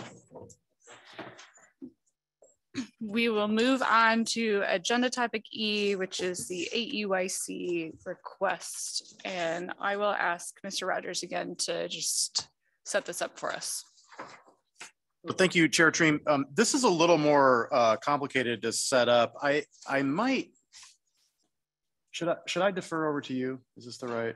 I might defer to the deputy city managers, who's been one of many key players in, in organizing childcare funding. Okay, thank you. Mr. Barr.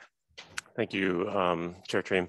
So um, I think really high level here is that uh, the state of Alaska used to fund uh, three childcare um, resource and referral organizations. AEYC is one of them here in Southeast Alaska. Thread is another in Anchorage, and there's a third um, in the Fairbanks area whose uh, name I am blanking on. It's not relevant.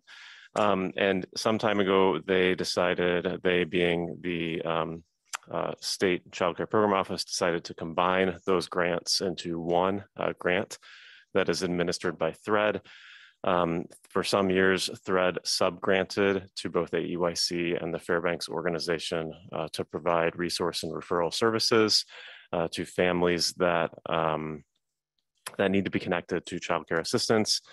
And, and THRED is centralizing those services within thread Uh, they're, they're essentially ending those subgrants at some point in the short-term future. We don't know exactly when, although Ms. Scheibler may have more, more detail on that. Um, so that is the, the primary reason uh, why this grant request is before you today in two parts. Uh, one, to provide operational support uh, to the tune of approximately $100,000, slightly more um, to AEYC um, next year and again uh, the following year. Uh, the hope uh, is that that through coordination with state and perhaps other grantees that, that that support won't be necessary indefinitely, but very likely will be for two years. And then a separate uh, portion, approximately $140,000, again, slightly more, again, same time frame, uh, two-year period, um, but 140 each year uh, for um, the provision of parents as teacher services.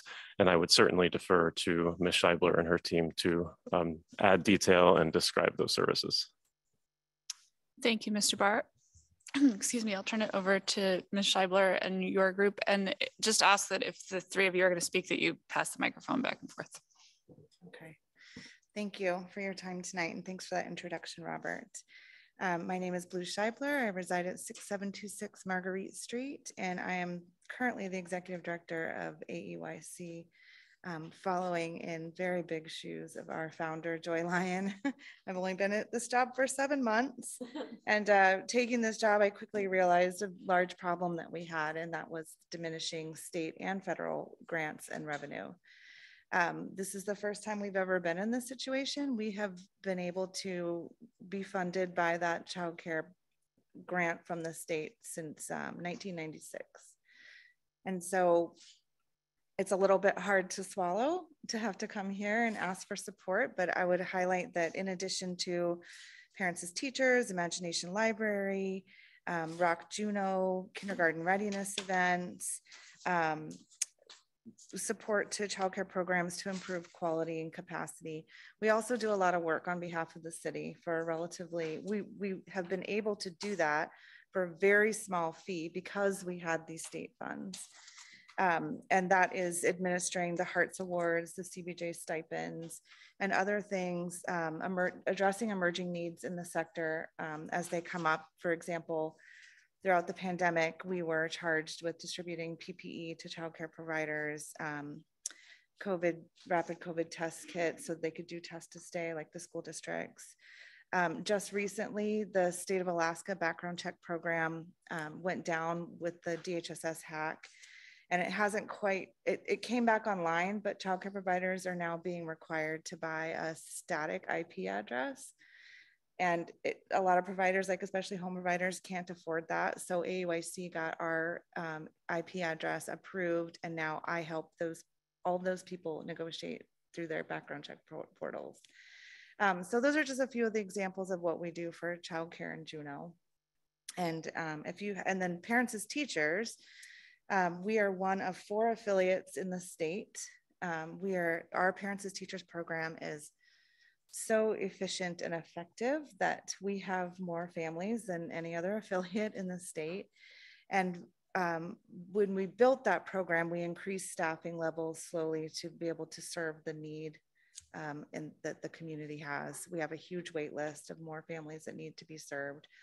And so we have this capacity built up in staffing and we have demand but we're losing, um, we're, there's a five-year grant from AASB that's sunsetting at the end of this year. And so we are um, trying to work with the state for revenue replacement for both the child care resource and referral work and parents as teachers.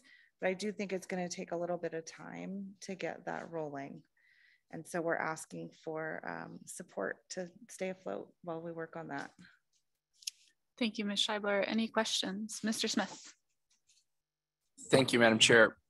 I think I was too busy getting kind of infuriated when Mr. Barr was talking about this money.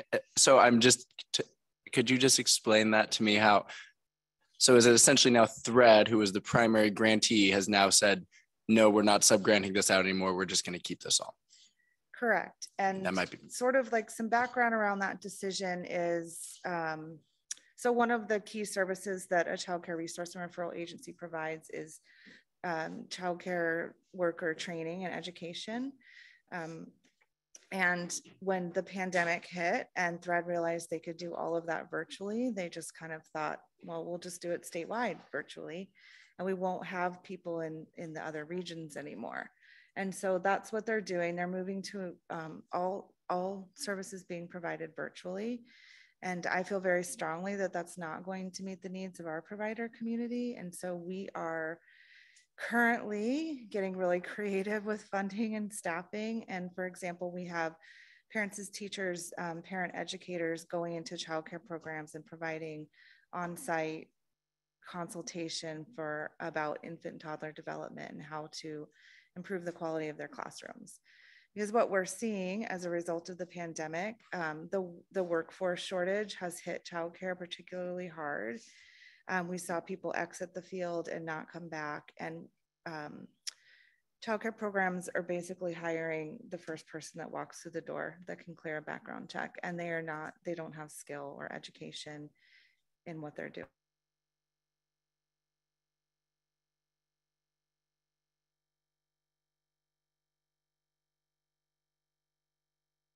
that we've always had to do that. I do hope I've been working with the child care program office who ultimately made the decision to only give one grantee the- all of the funds for the state. Um, I've been trying to help her understand how that shortchanges the the other regions, and um, I, she, we have a good relationship. We're working on it, and um, I do hope that to see a change. Ms. Hale. Thank you, Madam Chair. Um, yeah, it's a little stunning. Um, do you know, Ms. Scheibler, how how the your counterparts in Fairbanks have responded, and and you know what are they in a similar situation? They are in a similar situation. They are also an um, affiliate of, they are an AEYC affiliate, so they're Northern Interior AEYC. Um, and they are scrambling to find revenue replacement. Their subgrant, our subgrant ends at the end of this calendar year, and theirs ends at the end of FY23. Um, and they're looking at maybe starting a school age program. They're they're they're trying to be creative about how they're going to replace that revenue, but they're also very concerned about continuing their operations. Thank you. Mayor Weldon. Thank you. Um, um, thank you, ladies, for being here tonight. Um, you kind of mentioned it a little bit, Ms. Scheibler, but um, looking at your sheet, your budget sheet on, I don't know what the packet page it is on, um, you look like there's potential grants for the parents as teachers, but unless um, the big grantee that gives Thread the money changes, there's no other grants you could apply for for operations. Is that correct? No, not that I know of at this time. Um, our fund development plan does include looking at increased investment income, starting some planned giving campaigns, looking for corporate sponsors, um, increasing, promoting our pick, click, give campaign and things like that. And I, those are things that I think I, we just need some time to develop. Mr. Smith. I'll move on from that otherwise kind of upsetting topic to me. Um, can I, I just had a question about parents as teachers, and I guess I was just curious about the demographics of the families that you serve. Um, if you, you could speak about that, income, ethnicity, that type of thing would be great. Thank you. Sure. My name is Emily Thompson. I'm the manager for the Parents Teachers Program. I reside at 1108 Weburn Drive. And um, yeah, so parents as teachers, we can serve about 150 children a year. Right now, like we've had served 133 so far. We still have a quarter left or a little less than a quarter. About 40% of our families are low income and about 30% are Alaska Native or mixed race, um, other ethnicities. And we do have about 25% of our caseload, or our families at any given time have two or more high needs indicators. So things like substance abuse, homelessness, um, involved with correctional society or um, disability of child or adult, things like that. But you have to have two of those to qualify as a high needs family. Um, but the biggest risk indicator that we have for most families is the low income. Um, but also about 65% of our families are first time parents. So, you know, give you an idea. Can I add something to that too? Um, the supplemental funding that's listed here would be in addition to the regular grant that DHSS gives us um, annually. And it's going to hopefully come through the Office of Children's Services because Parents as Teachers has been identified as a child abuse and neglect prevention strategy. And so they have money specifically for that. And they've identified Parents as Teachers as the, where they want to invest it.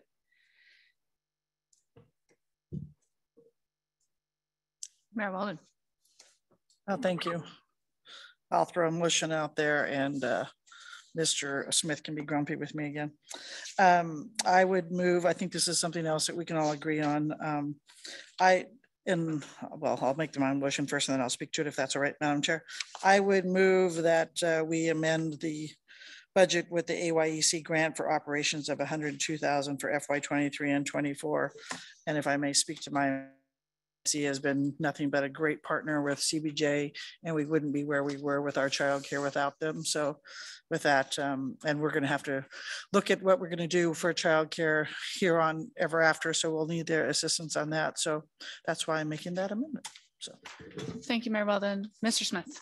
Thank you, Madam Madam Chair. Uh, I, am going to object not because I don't support the motion, uh, not because I don't support the intent, I was just having conversations today about how we might be able to, I'll just say fix as opposed to avenge what happened earlier. So, um, well, that would be my preference to maybe delay a week and delay it to the calendar decision list time or to a future decision because there may be a chance that we can do something where the state or thread or whoever anyway where funds are spread across the state as they should be. That would be my objection to it.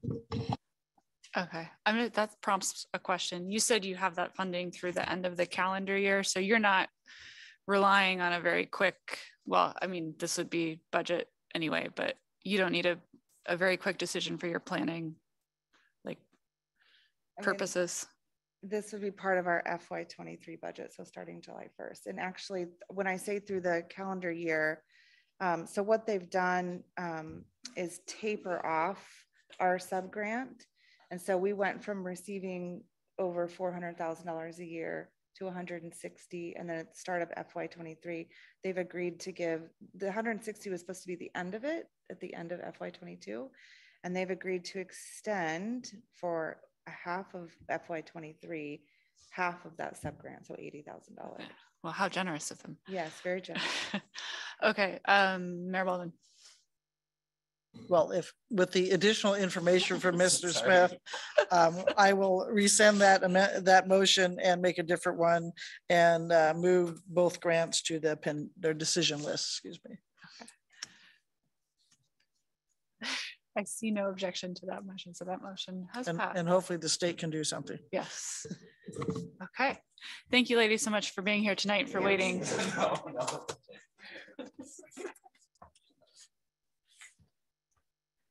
Okay.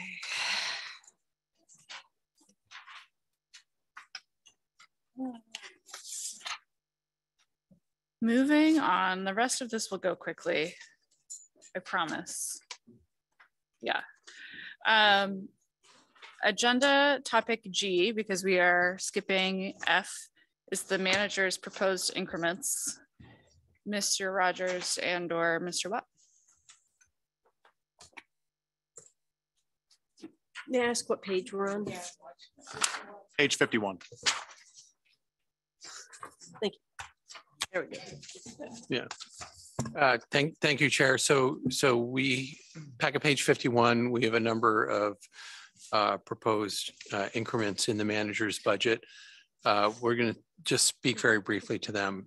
Uh, the streets positions, Um, after a long discussion with our operational group, they convinced me of two things. One is that costs in street maintenance had advanced faster than inflation, which I think is is true. So we've told them for years to hold the line with all departments. But the problem with uh, street maintenance is we add roads, we add new subdivisions, uh, we add sidewalks, we add storm drainage paths. So we, we actually have increased street maintenance costs faster than inflation.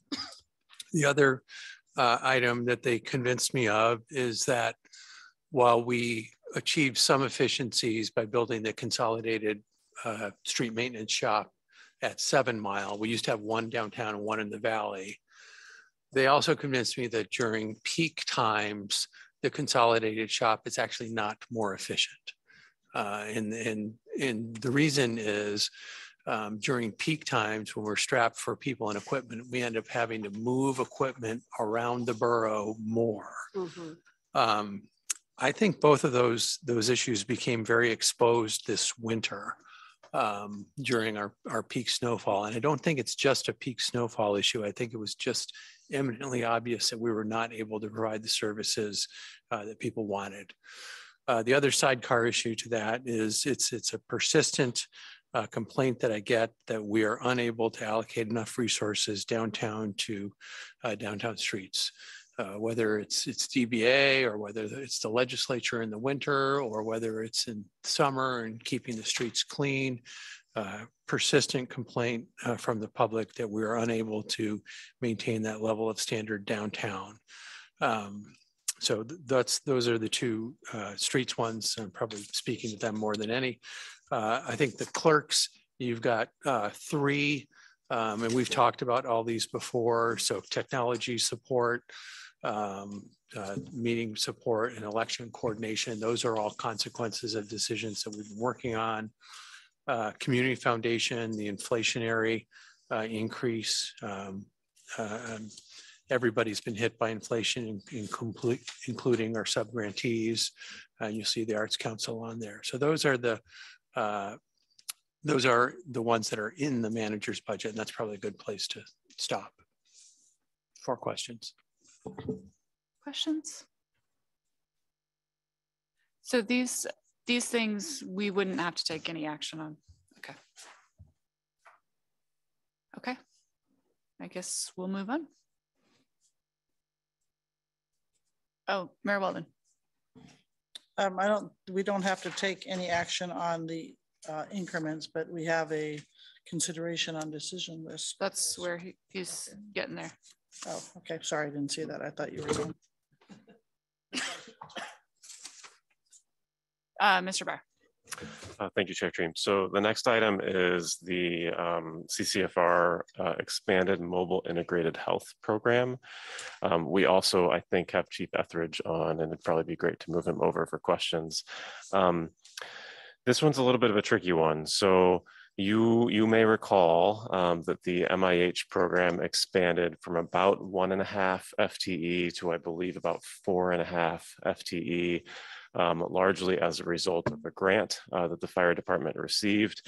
And um, the, the MIH program has been, uh, I, I, think, highly effective in the community. Um, you'll recall that one of its primary objectives is to uh, reduce the burden uh, on the emergency department at the hospital uh, by providing uh, medical services um, to individuals who don't otherwise have uh, the ability to, uh, to, to get those services through any means other than the emergency department.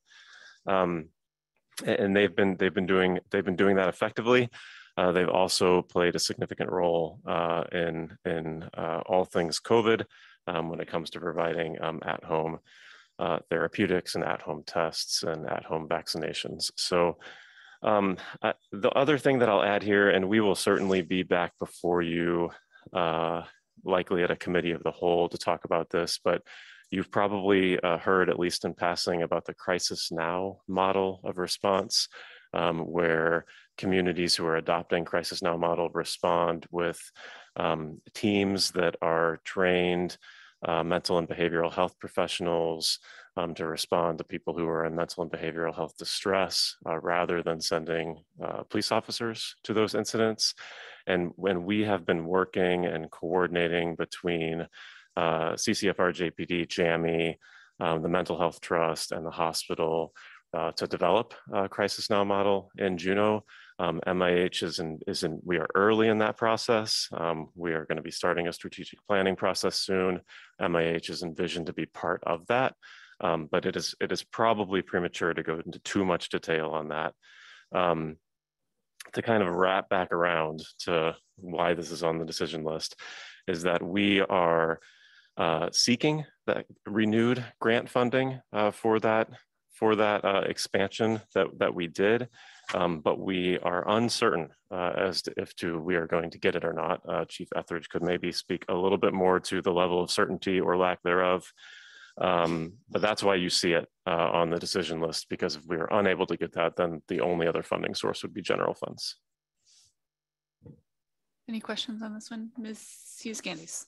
Thank you, Madam Chair. Just a question about timing. I know that we don't know if we're going to get it or not, but when will we know? And could you expand on, uh, you maybe I missed it just now, but what the specific grant was? Or like what the specific name of it was? Yeah, I, I know the acronym, but Chief Etheridge knows the, uh, the more details. So we'll, we'll go to Sure. Uh, thank you very much, uh, uh, Madam Chairman.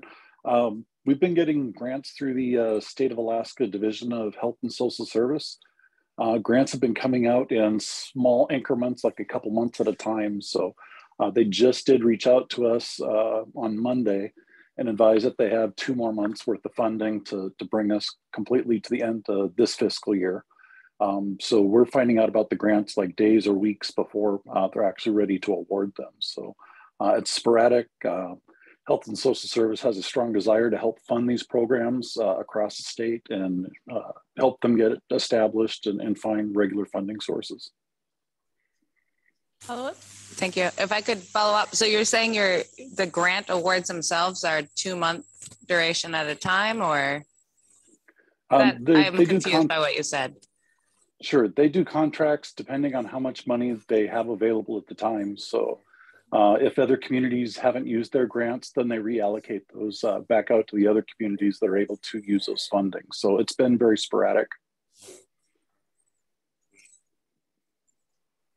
So we're not currently, we haven't put in an application for a, a normal length of time, like another year of a contract or another year of a grant. No, we haven't at this point. I would imagine after the state gets their budget, uh, adopted that uh, they'll have a little bit more solid foundation on what their their available funding looks like for next year. Okay, thank you. Mayor Weldon, and then Ms. Woll. Uh, thank you, and thank you, Chief Etheridge, for being here tonight. Um, so it sounds like uh, Ms. Hughes-Skandijs has kind of poked. Um, I would assume that if we got funding, then we wouldn't uh, have to use uh, general fund money. But my question is, it seems to kind of help the hospital, and I'm wondering if we have looked at having them fund any part of it. Sorry, that's more of a question for Mr. Rogers.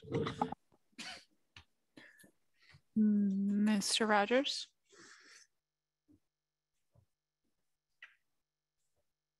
I think we're trying to figure out who's the right okay. person to answer. Um, I, I, there might be. Let me just let me let me say one thing that I that we do know. Um, there's probably two options for accomplishing this. One, you could somehow say the hospital, you have to pay for this. I mean, I guess you could direct them to do that. Um, the other potential is that you uh, redirect the rest of the tobacco tax. So the assembly made a decision a couple of years ago to change the amount of tobacco tax that went to the hospital. I don't have the number because it's not in this budget book, um, but you reduced it down to $518,000. So $518,000 still goes to the hospital to support uh, mental health, substance abuse treatment type programs. Um, it certainly one way to accomplish this purpose would be to pull that funding uh, back from the hospital from the tobacco tax um, and and have us assign it uh, to pay for uh, programs like MIH. Um, uh, and then again, separately, it probably uh, not technically impossible for us to assign this responsibility and cost to the hospital, but um, not not our typical relationship with the enterprises. Is that a good answer for you? Okay. Um, Ms. Woll and then Ms. Hale. Thank you, Madam Chair. Kind of continuing on that same thought, I, I appreciated Mr. Barr kind of wrapping this vision into the, the larger vision of the crisis intervention kind of work with the hospital and with JAMHI. Uh, if I remember correctly from that conversation, it, it, was, we were optimistic at the time that there would be kind of considerable funding opportunities um, for the expansion of that program. Would, would that funding be available for this specific piece of, of that? Or, or do we think there's, there's a chance of that? Uh, Chair Triem, yes, I think I think we do think there is a chance of that. Um, the the crisis now model kind of involves three tiers, and the tier that MIH uh, would be involved in is kind of the middle one, and that is the mobile response team and providing the team that goes out to actually do that work. Um, the other partner in that team would be JAMHI, who would provide the higher level clinical staff support. Um, and JAMHI has uh, been have been closely working with the uh, with the Alaska Mental Health Trust, who has expressed quite a bit of interest um, in helping fund that team. Um, and uh, the mental health, we've been in contact with the Mental Health Trust too to help provide some. They're they're interested in helping us provide some. They're interested in helping provide some strategic planning support to us uh, to kind of wrap our brains around how the whole thing comes together within the context of everything else we have going on in Juneau. Um, hard, hard to speak with any more certainty than that right now, though. Ms. Hale. Thank you, Madam Chair. This is a, probably a question for Mr. Rogers. Um, along the lines of the mayor's question about the hospital funding, um, all are part of this or part of it. And then your response about the tobacco tax. Um, I'm not sure where the hospital's out at relative to their own budget. So if we start trying to dip into the hospital for funding something like this, um, are they going to have to go like go back and readopt the budget or you know what what what does that mean in terms of timing of what they're doing yeah chair Triem. so uh, certainly um, the the assembly already did move to adopt the hospital budget as it was uh, uh, sent to you. Obviously, now um, that doesn't make that decision closed necessarily. You're still working on the bill. It's still in the in the ordinance. It's still in the committee. So you could certainly, at this time, uh, take that tobacco tax and reassign it to another purpose. Um, the hospital would need to go back and revise its own understanding of its own budget. Um, the probably what would happen in practice is that they would delete uh, $518,000 of revenue and that revenue loss would fall to their bottom line and it would get managed as part of the overall budget next year. I mean, as in they would tell you that they will either spend hospital fund balance or it's a reduce a reduction to their contribution to hospital fund balance to lose that funding. Um, I, I think it would be unexpected for the hospital to lose that funding and then uh, deliver you back a budget that somehow cut $518,000 of services. That, that's probably not what would happen. They would reflect it as uh, an increased use of hospital fund balance or a decrease to what they would contribute. That's my assumption. Thank you. I, I guess I would just uh, advocate to the assembly that we we proceed cautiously with with dipping into other entities um, funds at this stage. It's awfully nice if we give people warning instead so they know what's coming. Thanks. Mr. Smith. Thank you, Madam Chair. I was just kind of curious about data and outcomes or, you know, what, what we're seeing. Um, and I just, I, I mean, just to, I'd like to hear any high points or data that you have about this program. And then I guess maybe just confirm that though we might be seeing less people going to the emergency department, it maybe isn't to the point where they can reduce staffing. So we're not, we're not going to see a savings per se. It's just they might be able to less burden to provide better care or something.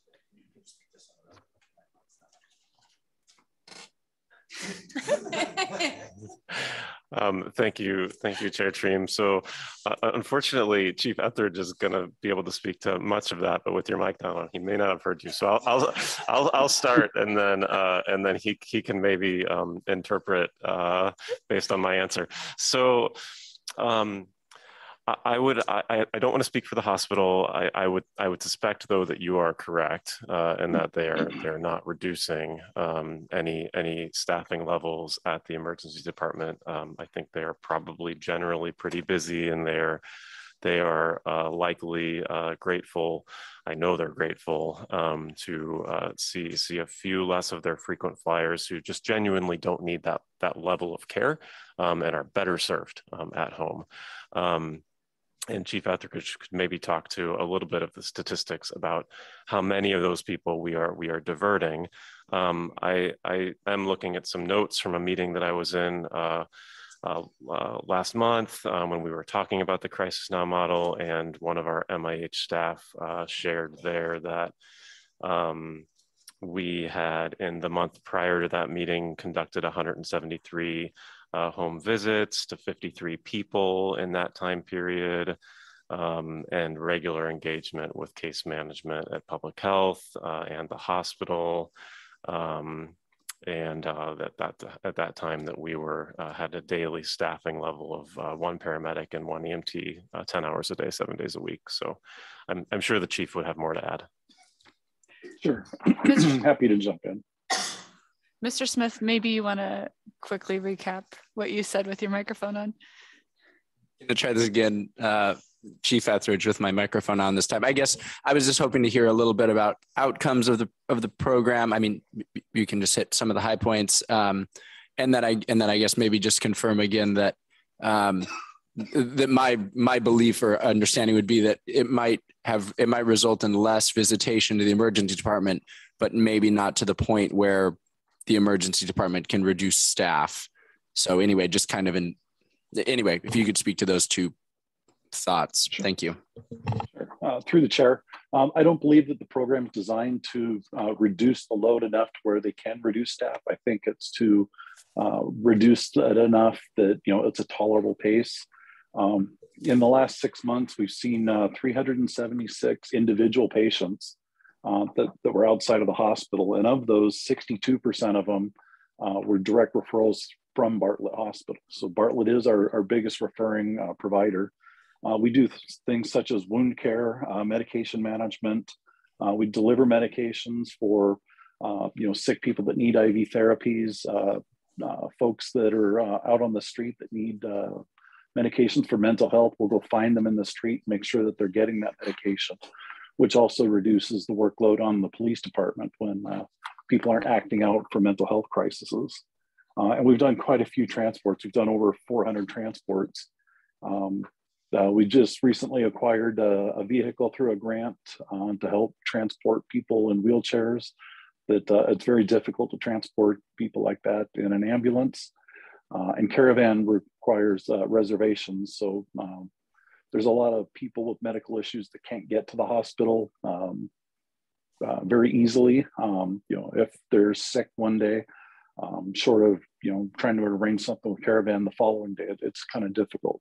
Uh, we aren't trying to replace any services in the community. We're trying to be able to fill those gaps and catch those people that are falling through the cracks. Uh, we've been uh, finding people out in the field uh, just recently, uh, our uh, paramedics have found a person that was uh, having early signs of sepsis, and they recognized in the field, got them to the hospital, and got them flown up to Anchorage for further treatment. Uh, they've also found people with stroke symptoms that were refusing to go into the hospital because they didn't feel they were emergent. So we're having direct impact on people.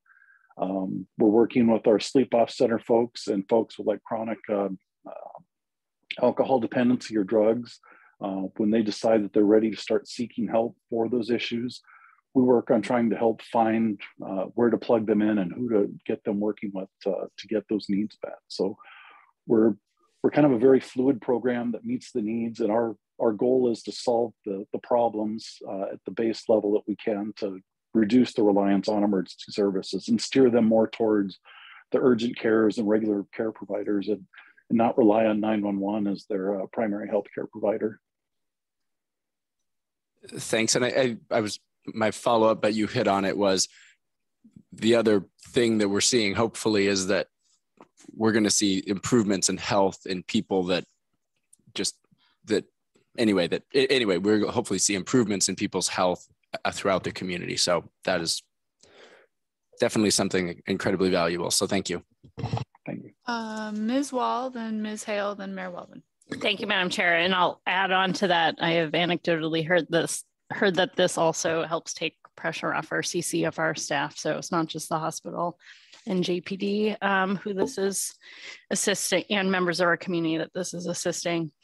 Um, my question doesn't have to be answered um, tonight necessarily, but I, I did kind of, uh, I was a bit confused looking at the staffing numbers here. They had an original program as one full-time paramedic, two part-time paramedics. Then there was an expansion. Um, and the executive summary of the staffing changes in our budget book um, included a reduction of one FTE. Um, so I, I wasn't quite clear. Um, did the budget represent the full kind of retraction back to the original staffing and that 540,000 is now um, what we are adding to it or I, I, couldn't quite compute that with what was here in the executive summary and what was here so um, don't have to answer that now if that's confusing but it would be good to understand what the difference is between what's in here, what's in the, the budget and what it originally was.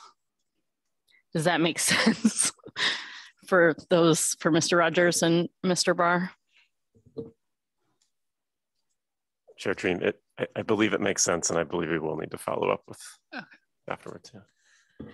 Ms. Hale. Thank you, Madam Chair. And uh, uh, to Assembly Member Smith, I think uh, another factor is that this program has been becoming itself during COVID. And so any kind of sort of long-term look at data is, is really hard right now. And, and also with the, Bartlett's having some pretty severe staffing shortages. So that's really difficult right now too. Mayor Weldon. Thank you. And while I certainly can see that it's a benefit to the community and to many individuals that um, have um, nowhere else to go or don't feel they have anywhere else to go. I'm wondering just, you mentioned transports of folks to doctors and stuff. Is there any cost recovery from this program? I can address that one. Uh, at this point, there is not cost recovery, but we are working with uh, Health and Social Services to uh, be able to bill through Medicaid. Uh, JAMHI currently has the uh, ability to bill through Medicaid. And uh, part of being a partner with them, that may uh, potentially open up some doors without having to create new uh, regulation. Any more questions on this, on these positions, this increment? Mayor Weldon. I would move the expanded mobile integrated health program to the decision list. I see no objection. That motion passes. So the, the final, uh, final item. Oh, no, not final item. There's another page. Uh, next item, Mr. Watt.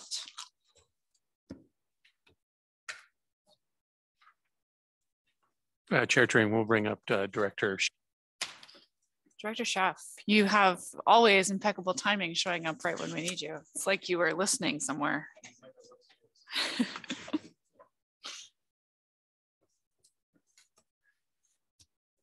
Uh, thank you, Madam Chair. Um, mainly, I'm here to answer any questions you might have regarding the increment requests. There are two. Um, big picture, these really reflect the fact that the Parks and Recreation Department took on two new programs, two new facilities uh, in the last year, both of which were completely new to us. And in developing the budget and staffing schedule for those programs, uh, we definitely took a lean approach. We uh, did that in the height of the pandemic and with uh, several months behind us now, we have a better understanding of how these facilities operate and what we need to operate them successfully. So this uh, increment requests uh, for the Spruce Root House and also for the Diamond Park Field House uh, reflect um, our better understanding of operations now and, and what we feel uh, we need to um, do a good job at both of those facilities. Any questions? Mayor Weldon.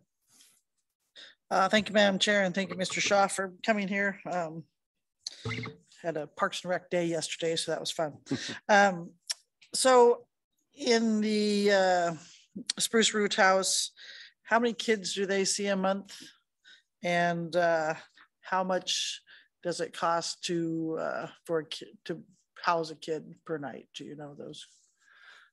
Um, through the chair, Madam Mayor, I don't have that information directly available to me. Um, I did, I was asking earlier today what our total numbers of youth served have been since the shelter opened in July, and it is approaching 100. Um, so I can get you specific information uh, on that. I don't have information on the, the cost per youth. But also could get you that as well. Ms. Hale. Thank you. I'm a little bit puzzled just because I don't remember uh, how this all went, but I didn't realize that Parks and Rec was managing Spruce Root House. And um, and that just seems, that's just surprising to me. So can somebody explain why? Mr. Watt.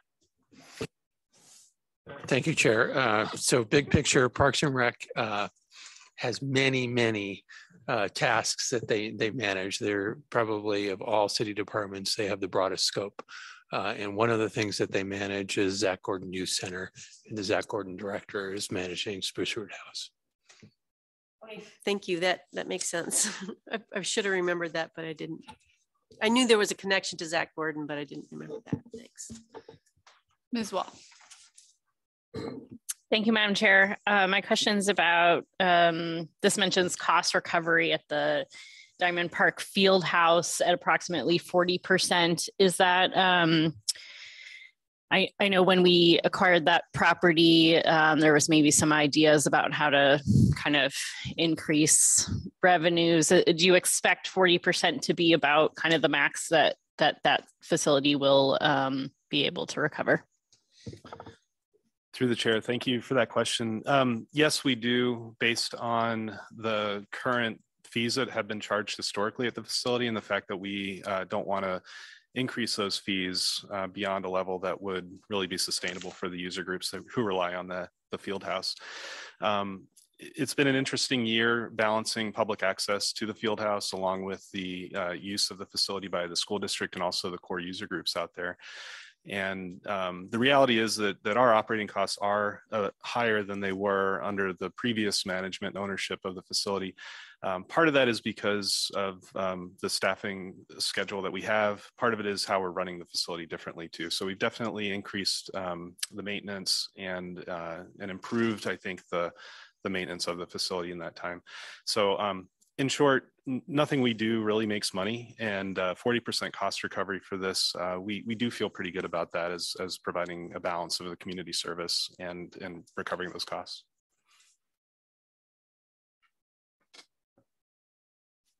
Mayor Weldon. Thank you, Madam Chair. I would move uh, both Parks and Recs additional funding to the decision list. That motion passes. Mr. Barr. Thank you, Chair Triem. So the last item is um, pretty self-explanatory, but this is the warming shelter item. It costs approximately $30,000 per month um, to operate the warming shelter. Resurrection Lutheran has requested to operate for six months instead of five months. Um, they, they certainly found this year um, Mr. Chambor and I had a good meeting with them, but they certainly found this year that they, uh, due to the weather, um, needed needed to operate for that extra month, uh, and so they're projecting that again for the next year, and that is why you see this uh, increment. Questions? Uh, thank you, Madam Chair. Um, I would move the warming shelter grant to the pending list. Decision list. I see no objection. That motion passes. Um, how, how are we feeling? I was just gonna ask. We need a little break. Okay, little break.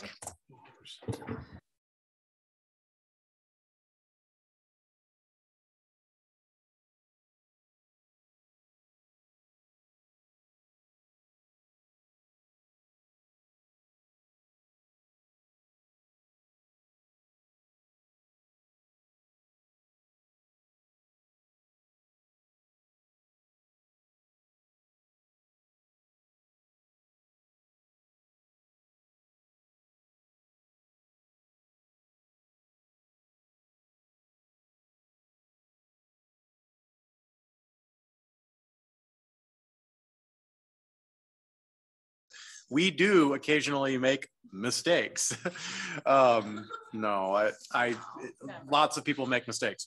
Um, the three increments that are included in the manager's budget for the clerk's office are included in everything we've presented to you. They're, but they're not actually in the budget. So we're gonna, we're gonna correct that as a technical fix um, unless you tell me not to. I, I, we've understood, I think, clear intentionality from the assembly on that subject. So um, they are uh, intended by the manager to be included in the manager's budget, and it's a mathematical mistake by the finance department that they're not. So um, I just wanted to alert you to that. And if there's no um, no issues with that, we will proceed to make that correction in the background. Okay, thank you, Mr. You are so diplomatic. uh, so we are on to CIP amendments. Is there anything you want to tell us? Before we start, Mr. Rogers?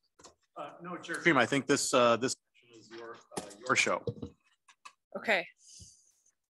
Um, Mayor Weldon, are you you want to move these for me?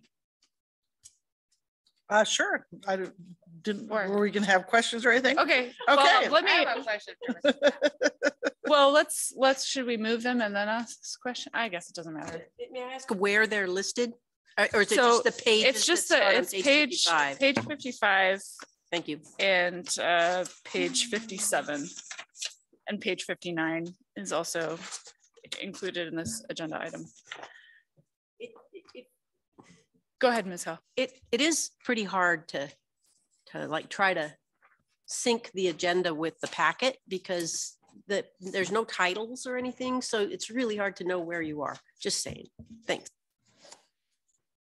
Um, I will, I will internalize that feedback.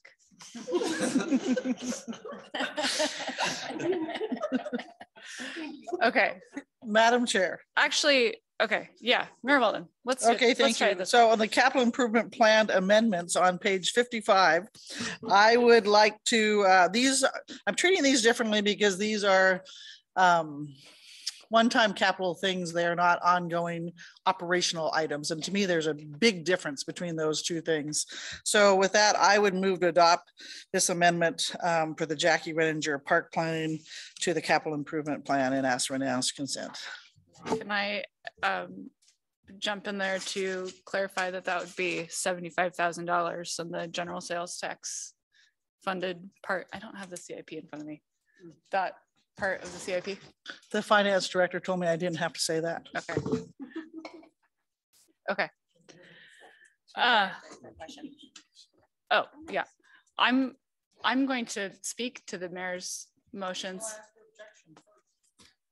Like I said, I have questions. I object for questions. Okay.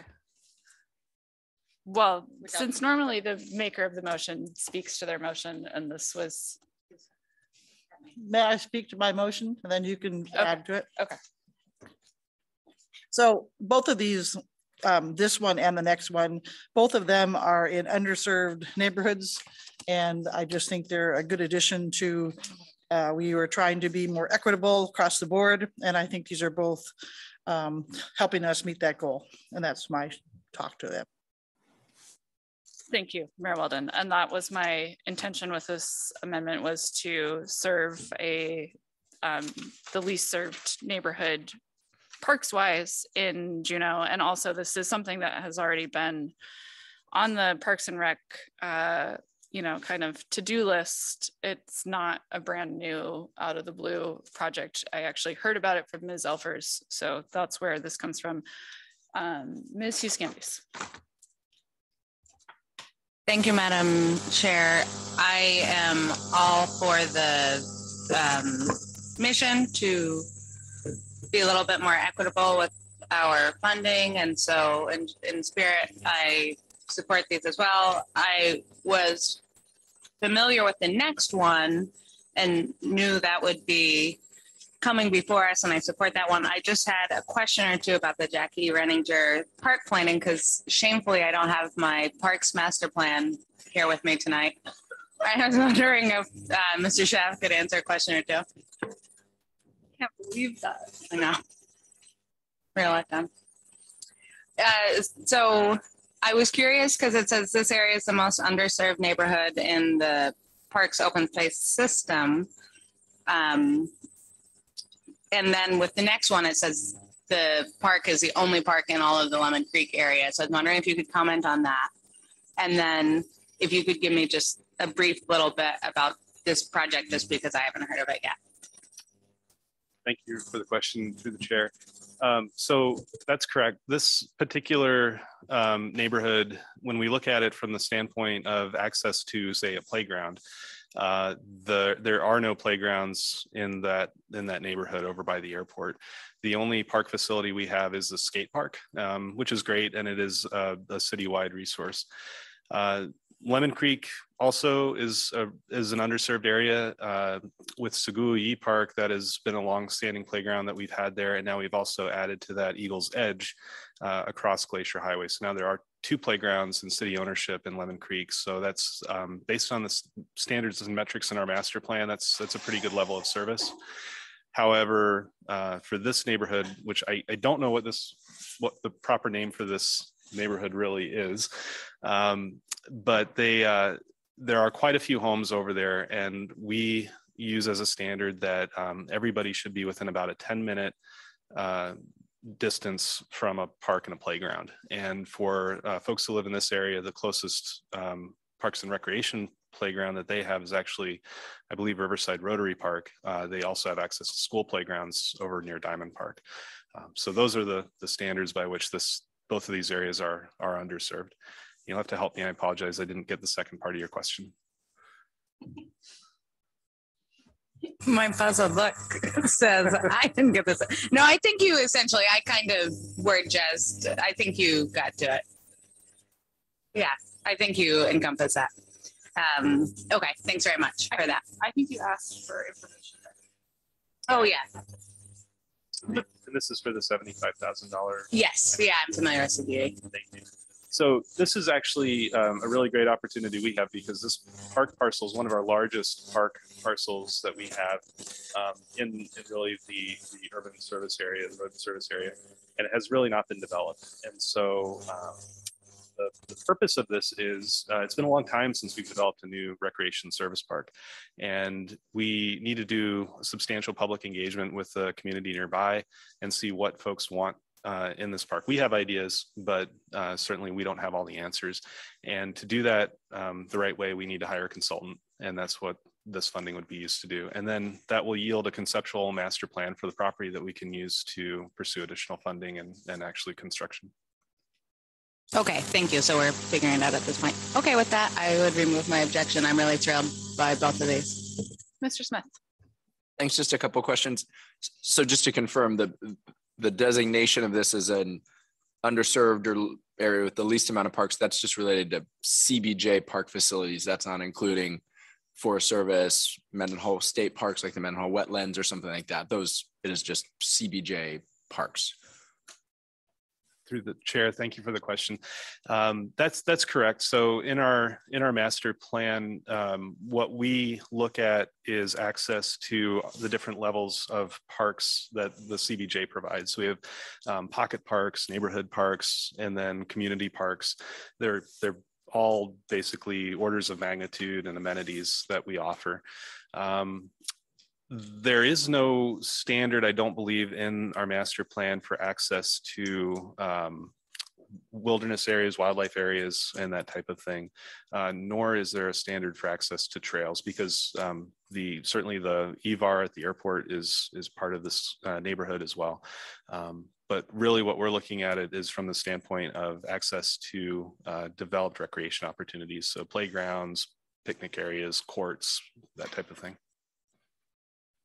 Thank you for that. The other thing was just, um, it, it might, it's been on your, on your, I guess, your radar or something, but I, you, you have the resources to actually execute this planning purpose. I know sometimes CDD, like, we might say, hey, do this thing. And they're like, we have a agenda, we already have it mapped out or just calendared out. So you, you're able to actually execute it this year if you, if you were to get the funding. Uh, through the chair, um, th- I believe this is for FY23, and that's when we would we would program it. And uh, the answer is yes, uh, we could, but we would use the services of a professional consultant and designer to do it. That's typically what we do for uh, large park design projects like this because we we really don't have that capacity internally. Okay. Any objection? No objection, that motion passes. Next one. Thank you, Madam Chair. Um, I would move to adopt the amendment for the Sagu Wu Yi Park lighting improvements um, to the capital improvement plan. And if I may speak to this one also. So this is um, the only Parks and Rec service park in the Lemon Creek area uh, again, and so it's underserved. I've actually been to this park. Um, Thank you to the Lemon Creek neighborhood invited me pre-COVID to uh, join them in their national night out, so I did. Um, So we expect another invitation. Um, Anyway, um, the problem with this park is there's no lighting, and so that uh, you can't use it when it starts getting dusk. And it also uh, has a little bit of a vandalism and uh, trash problem. Uh, so that's what the lighting. I did poke a little bit at the three hundred thousand dollars, but unfortunately, that's just the cost of putting up lights. So I was surprised at that cost. But anyway, that's the motion. Thank you. Ms. Hale. I have a que- question about uh, this, the, um, y- do we know what the residents of Lemon Creek and in the area of the Seguyi Park, um, have they had a chance to weigh in? And I, I only ask that because when lights are added to a neighborhood, sometimes that can be very detrimental because it's happening in my neighborhood right now. Um, And I just want to make sure that they've had a chance to, to weigh in on this. Through the chair, thank you for the question. Um, the request actually came from uh, residents in this neighborhood for the lighting, and there will be a more uh, a more robust design process uh, and public process, not only for the lighting aspect of the park improvements, but also for the overall renovations. So uh, the intent here is that this will be additional funding for a project we already have um, in our plans to replace the playground at this park and also to replace uh, some of the park furnishings as well. And in the course of that um, community public process, uh, we will definitely be talking about what kind of lighting people want.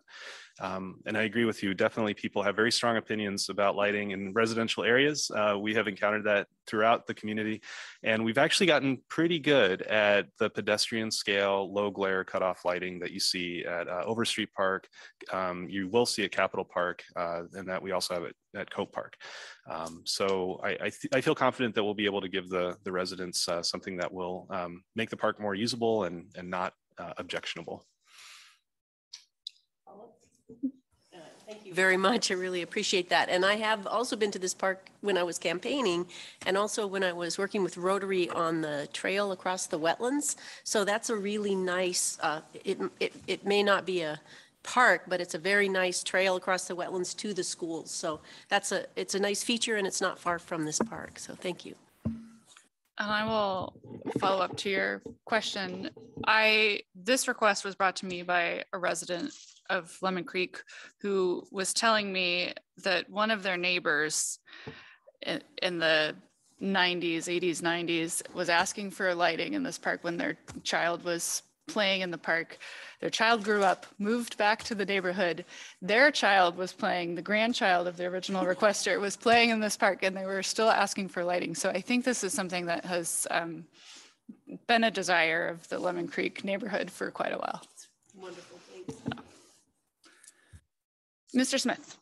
Thank you. O- On that, I guess, is there, is, was, was this lighting on project list or something. I mean, I, I searched through the CIP and I it didn't, it wasn't on a programmed out in another year. Maybe it was too small of a dollar amount. I guess it was there. It just never had gotten to the point of being funded or tell me about that history. Uh, through the chair, that's a very good question. I, I don't have my CIP list in front of me. I don't believe it was ever called out as a discrete project on our capital improvement plan. Um, the way that our park improvement CIP really works is that we we work down the list based on age, and we have not really taken us a long look at uh, improvements to this park until now because uh, basically its turn has come up. Um, it's it's now the second oldest park in in the community, and um, it really uh, the the the impetus to include lighting um, was driven by uh, the Parks and Recreation Advisory Committee, uh, the residents, and and uh, from the assembly. Certainly, I, I can say that um, including lighting in, in our parks is something that we are doing more consistently going forward. It's, it's becoming a standard feature in our parks as we we work to improve them. Any more questions? Any objection to that motion? I see none. That one is adopted as well. So the next, yeah, yeah. Um, she doesn't want to. no, the the next one, and thank you, Mr. Schaaf, for being here to answer us. Uh, my discussion with Mr. Rogers and Mr. Smith makes me understand that this is more of an information item. Uh, thank you, Madam Chair. Um, so my intention on this was just as we have the circulator planning, I wonder if, what's the actual name in the CIP, uh, circulator plan for using state passenger fees for $100,000. Um, my thought is if we are engaging professionals to look at downtown circulator systems, I would at least just like to consider or take a look or have people who know this to say, does some type of fixed infrastructure transportation work? And by that, some, I mean, it seems a little, I admit it seems kind of crazy, like a trolley or we're not going monorail, I suppose. But anyway, something like that. It does seem rather intense. I get it. However, I have just heard um, from people I've worked with in the past that fixed infrastructure transportation can lead to more investment because you now have this line, a rail or something going in into an area and people are like, well, that is that is going to be that transportation. Therefore, likely sometime in the future, or as a bus, someone could shift the route tomorrow.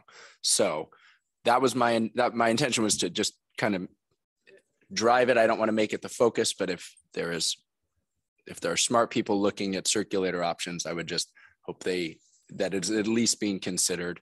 That was the intention of my very formal um, CIP amendment here included in the packet. Um, and, and then when I had spoken with, I, I was looking for the text or whatever the response was from Mr. Rogers, but my understanding is that that asking that or putting that into the into the into the pro into the project would not increase. They didn't feel it was going to need to increase the cost. If, and if that looking to staff to make confirm Yeah, that. So Mr. Watt. Uh, yes, just to confirm, I, uh, that will definitely come up in the planning process. And I, and I would say there are many visions of circulators and many purposes uh, that people are going to have. Um, and some type of fixed infrastructure has come up in the past.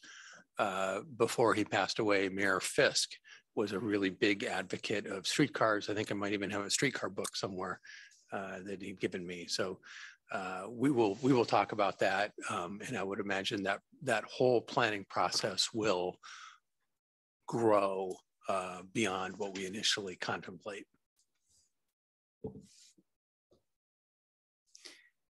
Um, so I don't believe we need to make a formal motion unless you want to, that's fine also, but does anybody have any um, questions or comments, I guess, on this proposal from Mr. Smith? So you guys are good with your instruction? Okay. Thank you, Mr. Smith. Okay, that brings us to the final items on our agenda, updates on investment income and budget summary and fund balance. Mr. Rogers. So thank you, Chair Triem. I think we can move through these two items expeditiously um, tonight. Um, Starting on page 60 of your packet, 60 and 61. Um, We, this is our best effort to, to um, write down on paper what, what we expect to be a really prodigious investment loss in, in the current year, FY '22.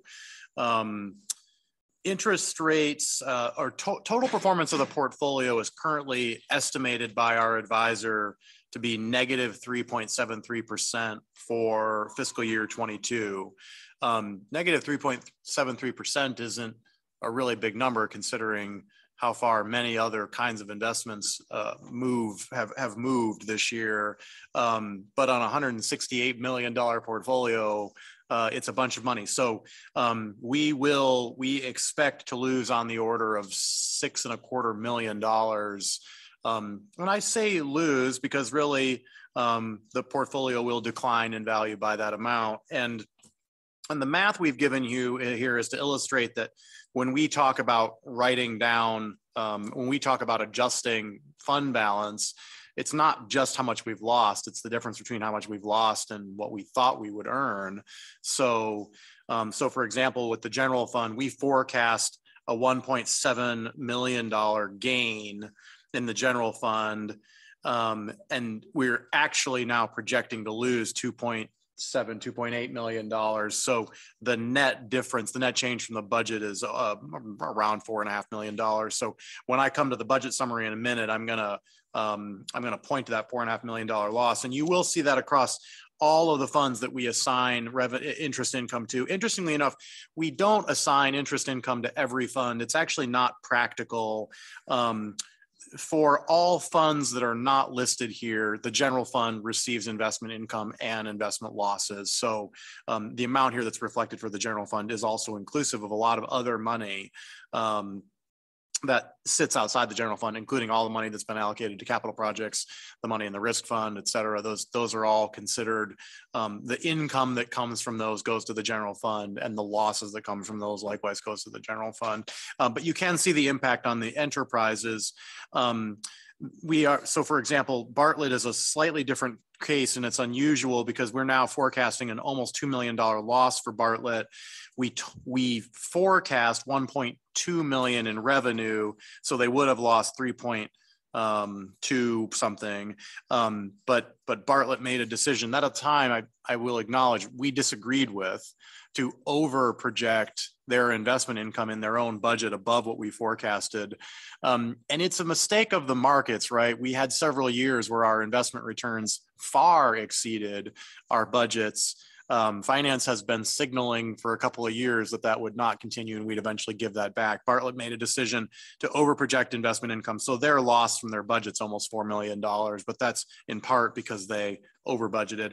And the the the chart or the series of charts on page 61 is intended to to, to illustrate this phenomenon that I've been describing for some time, which is that as interest, as short-term interest rates fall, our uh, the value of our portfolio goes up, and as interest short-term interest rates rise, the value of our portfolio goes down. And I won't go into all the reasons why that's the case. It doesn't it doesn't really matter, but um, we are required under GASB rules to follow a mark-to-market concept, which means that we own a security um, and we are required to report its its its saleable value um, during the year. And that's where interest rates matter because what's interesting about a fixed income security is that we, you know, we, we, you know, a, a bond works just like any other loan. We give somebody a million dollars, they pay us 2% every year until that, um, until that loan pays off and they give us the million dollars back. So,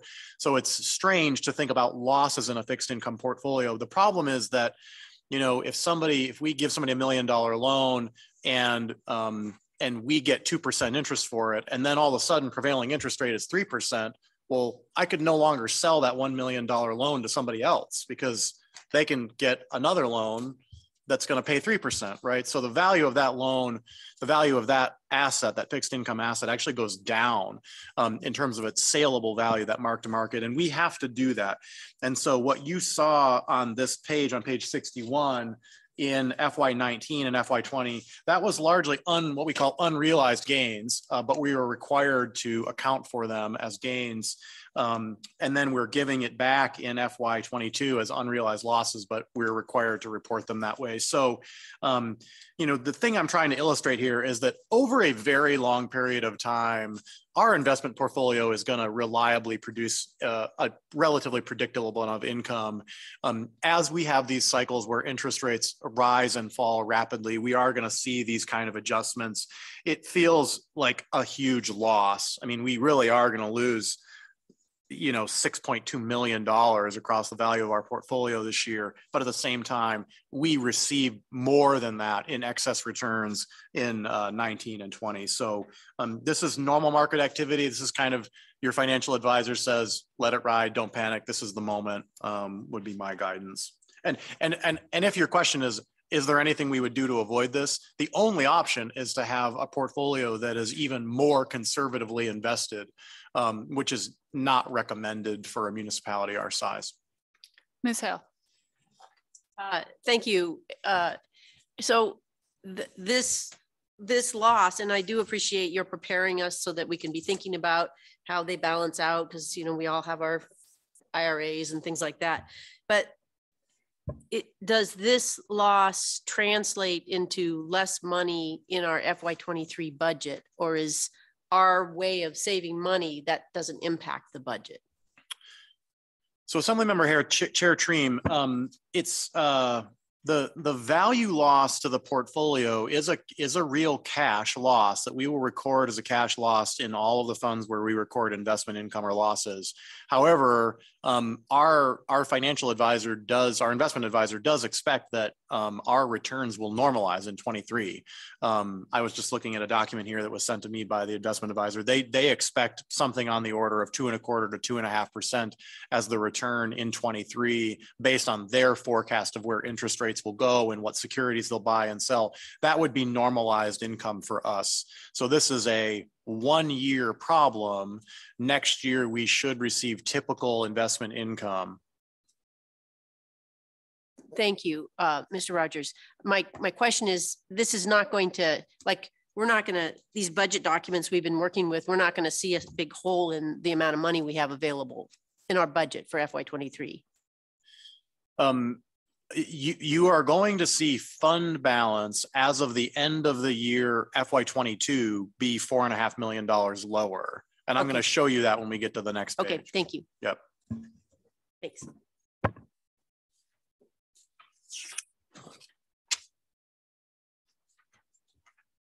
Let's keep going. I see, I don't see any other questions. Yep. Okay, good. So if we want to just roll into the next item, um, I, uh, it made there we've so much has happened. Um it made sense to come back and like take a big step back. And i and i and i did this intentionally and if it works for you i'll do it again next year. I mean next week you're going to start making decisions. So i i thought it made sense to like come back to this and put you in a slightly different place. So everything highlighted here in yellow has been um, added by the finance department um, uh, re recently since since the last update of this. Um, you see 6.3 million for New City Hall. That's obviously pending. That's on your uh, that will be on the agenda in June. Um, the transfer to the Affordable Housing Fund, you did. Augustus Brown, you three million for Augustus Brown, you did. IT upgrades is pending. That'll be in the June meeting. Um, the appropriation to Teal Street is is pending for the June. Uh, no, pending for the May meeting. Monday's Monday the 16th meeting. Um, Lemon Creek Mosley Molo Path for a million dollars. You did that. Eaglecrest Gondola Transportation, you approved tonight for 500,000. Um, we baked this in for 800,000 because there was a question, I don't know if you saw in the title, but we said up to 800 and it's 500. So this is actually overstated by $300,000. We'll correct that. Um, 500,000 for JPD uh, radios. You did that. Um, 300,000 transfer to the downtown parking fund, 250 for North Douglas Crossing. You did all those things. And then uh, down on lines uh, 158, 159, uh, reduction to investment income. So that's the four and a half million dollars that we're losing in the general fund this year um, as a result of the investment loss. And then um, this 572 is actually just almost impossibly difficult to explain. Um, we, so it, you have to look up above. So where it says ARPA funds replace state marine passenger fees, 11.9 million, that would have been true if no ships had come last year because this, the way the state grant worked for that was that it was a hold harmless. So we would have gotten ARPA funds for all of what we would have received otherwise in passenger fees. However, some ships came. So the state didn't give us $11.9 million. They gave us $11.9 million um, uh, less 572. And so we got that full amount, but the 572 went to the passenger fee account. So it, it's complicated, but so so all that all basically all that replacement for passenger fees you put in the general fund, we are required to take 572 of it and put it back in the passenger fee account. So that's a correction there. And then um, just okay, so so then just fully tracking this, what it would look like, and it's kind of crazy if you look at your next graph on the next page, we'll get there. Um, the final year end projected now, uh, 182 and a half million of revenues, 200 and a half million of expenditures for a little more than an 18 million dollar deficit. Um, any questions about that? Ms. Hale. And I know it's late. Uh, thank you, Mr. Rogers. Um, so the reduction to investment income of four point five million. Um, in in other years, those increases to investment income have those added to our fund balance. Correct. So tho- that's one of the reasons why our fund balance has increased. Correct. Okay, thank you. Um, so the numbers that this bottom pink line is based on, those include all of the pending items as well. Is that correct? Uh, Assemblymember Harris Cheltrim, that is, that is correct. All of the pending items that are pending in FY twenty-two. No, I mean the, the ones that you have the bolded pending. Uh, Yes, those are variously on your agendas in either May or June. So Teal Street is, you moved to the June, to the May meeting, and then new city hall, IT upgrades, and um, that's it. You moved to June. Thank you. Any more questions? Okay, I'll just keep tracking forward. So um, on the next page, you'll see uh, where we are with the manager's budget. Um, that doesn't change now, but I've I've roughed in a couple of things just to get get our heads in the right place. Okay, so um, two million dollars of wage and benefit costs. Um, that number is totally subject to negotiation. I don't have none, none of us have any idea what that number will be. I think we have good reason to think that it will be at least that high. Um, I've also uh, baked in $2 million of impact from decision list items. That number can be a zero, um, but I anticipate you are going to grant some of these requests. Um, so, and then, um, and then we get to the, the big kahuna of things, which is um, announcement of a $16 million grant to CBJ. So if you could turn to the very last page of your supplemental items, which looks like what Adrian's going to put on the screen, but it looks like this kind of small print. Um, we got word uh, maybe 10 days ago, probably not more, that the Senate had inserted into its version of the operating bill um, a provision that would um, that would repay municipalities for all of their accumulated unreimbursed school bond debt. So we've sat here now for many years agonizing and wringing our hands about what to do with unreimbursed school bond debt. Um, the state has now, the Senate has now put a provision into its budget, put, started by putting a provision that said we're going to repay all of that back. The House followed suit. Um, we do expect that um, that that will survive the legislature's budget and we, um, you know, the counsel from our lobbyist is that there's really, at this time, no indication that the governor will veto it. Um, so it may be practical for you to start thinking that we're going to get another $16 million from the state relatively unexpected. Um, you can see on the last page of the, of the supplemental items how it breaks down. It doesn't particularly matter. $16 million it jives with what our understanding is generally. Um, so coming back to the budget summary, um, adding all the things you've done in 22 as, as supplemental items, which gets you to an $18 million deficit. And I know the word deficit gets to be funny because you've, you've made a conscious decision to spend fund balance. Um, but then also looking at the FY23 budget. So the, um, you know, you started with a three and a half million dollar deficit in the manager's budget, $2 million in wage and benefit costs, $2 million in decisionless items would have gotten you to a seven and a half million dollar deficit. However, 16 uh, dollars unexpected turns a seven and a half million dollar deficit into an eight and a half million dollar surplus. Um, and we've also, that we typically do this, this is the first time we've done it in this document, but we do eventually plan for uh, some level of lapse. Um, so inclusive of that lapse, you get all the way down the final year, uh, year end projected with the $16 million of back pay for unreimbursed school bond debt um, gets you to a ten and a half million dollar surplus again after all of those items included the lapse, which would take um, which would take fund balance, total fund balance, unrestricted fund balance from 10 and a half million at the end of this current year, again, up to a little more than 21 million. So if Adrian will pop to the, um, to the, the chart, um, this starts to look a little funny because we're in strange times, um, but it's, it's real. It's just what it looks like. So um, that big red bar is, you know, a deficit. But as I said, I think it's just fair to say what it is. You've made a conscious decision to spend down fund balance, um, and you can see fund balance go down until it goes back up again, um, because we we just continue to get um, yet additional tranches of money from the state. Um, you know, uh, uh, don't don't look a gift horse in the mouth, I guess. And Mr. Rogers, we'll know for sure about that, I guess, when the governor signs the budget. Yeah, correct, Chair Triem. So we, we are often in this situation where um, before you finish the budget process, we will know what the legislature does. The legislature will pass a budget before you pass a budget. Um, but under normal circumstances, CBJ, CBJ Assembly under normal circumstances will pass its budget before the governor has made vetoes. That's not always true. We're really close in alignment.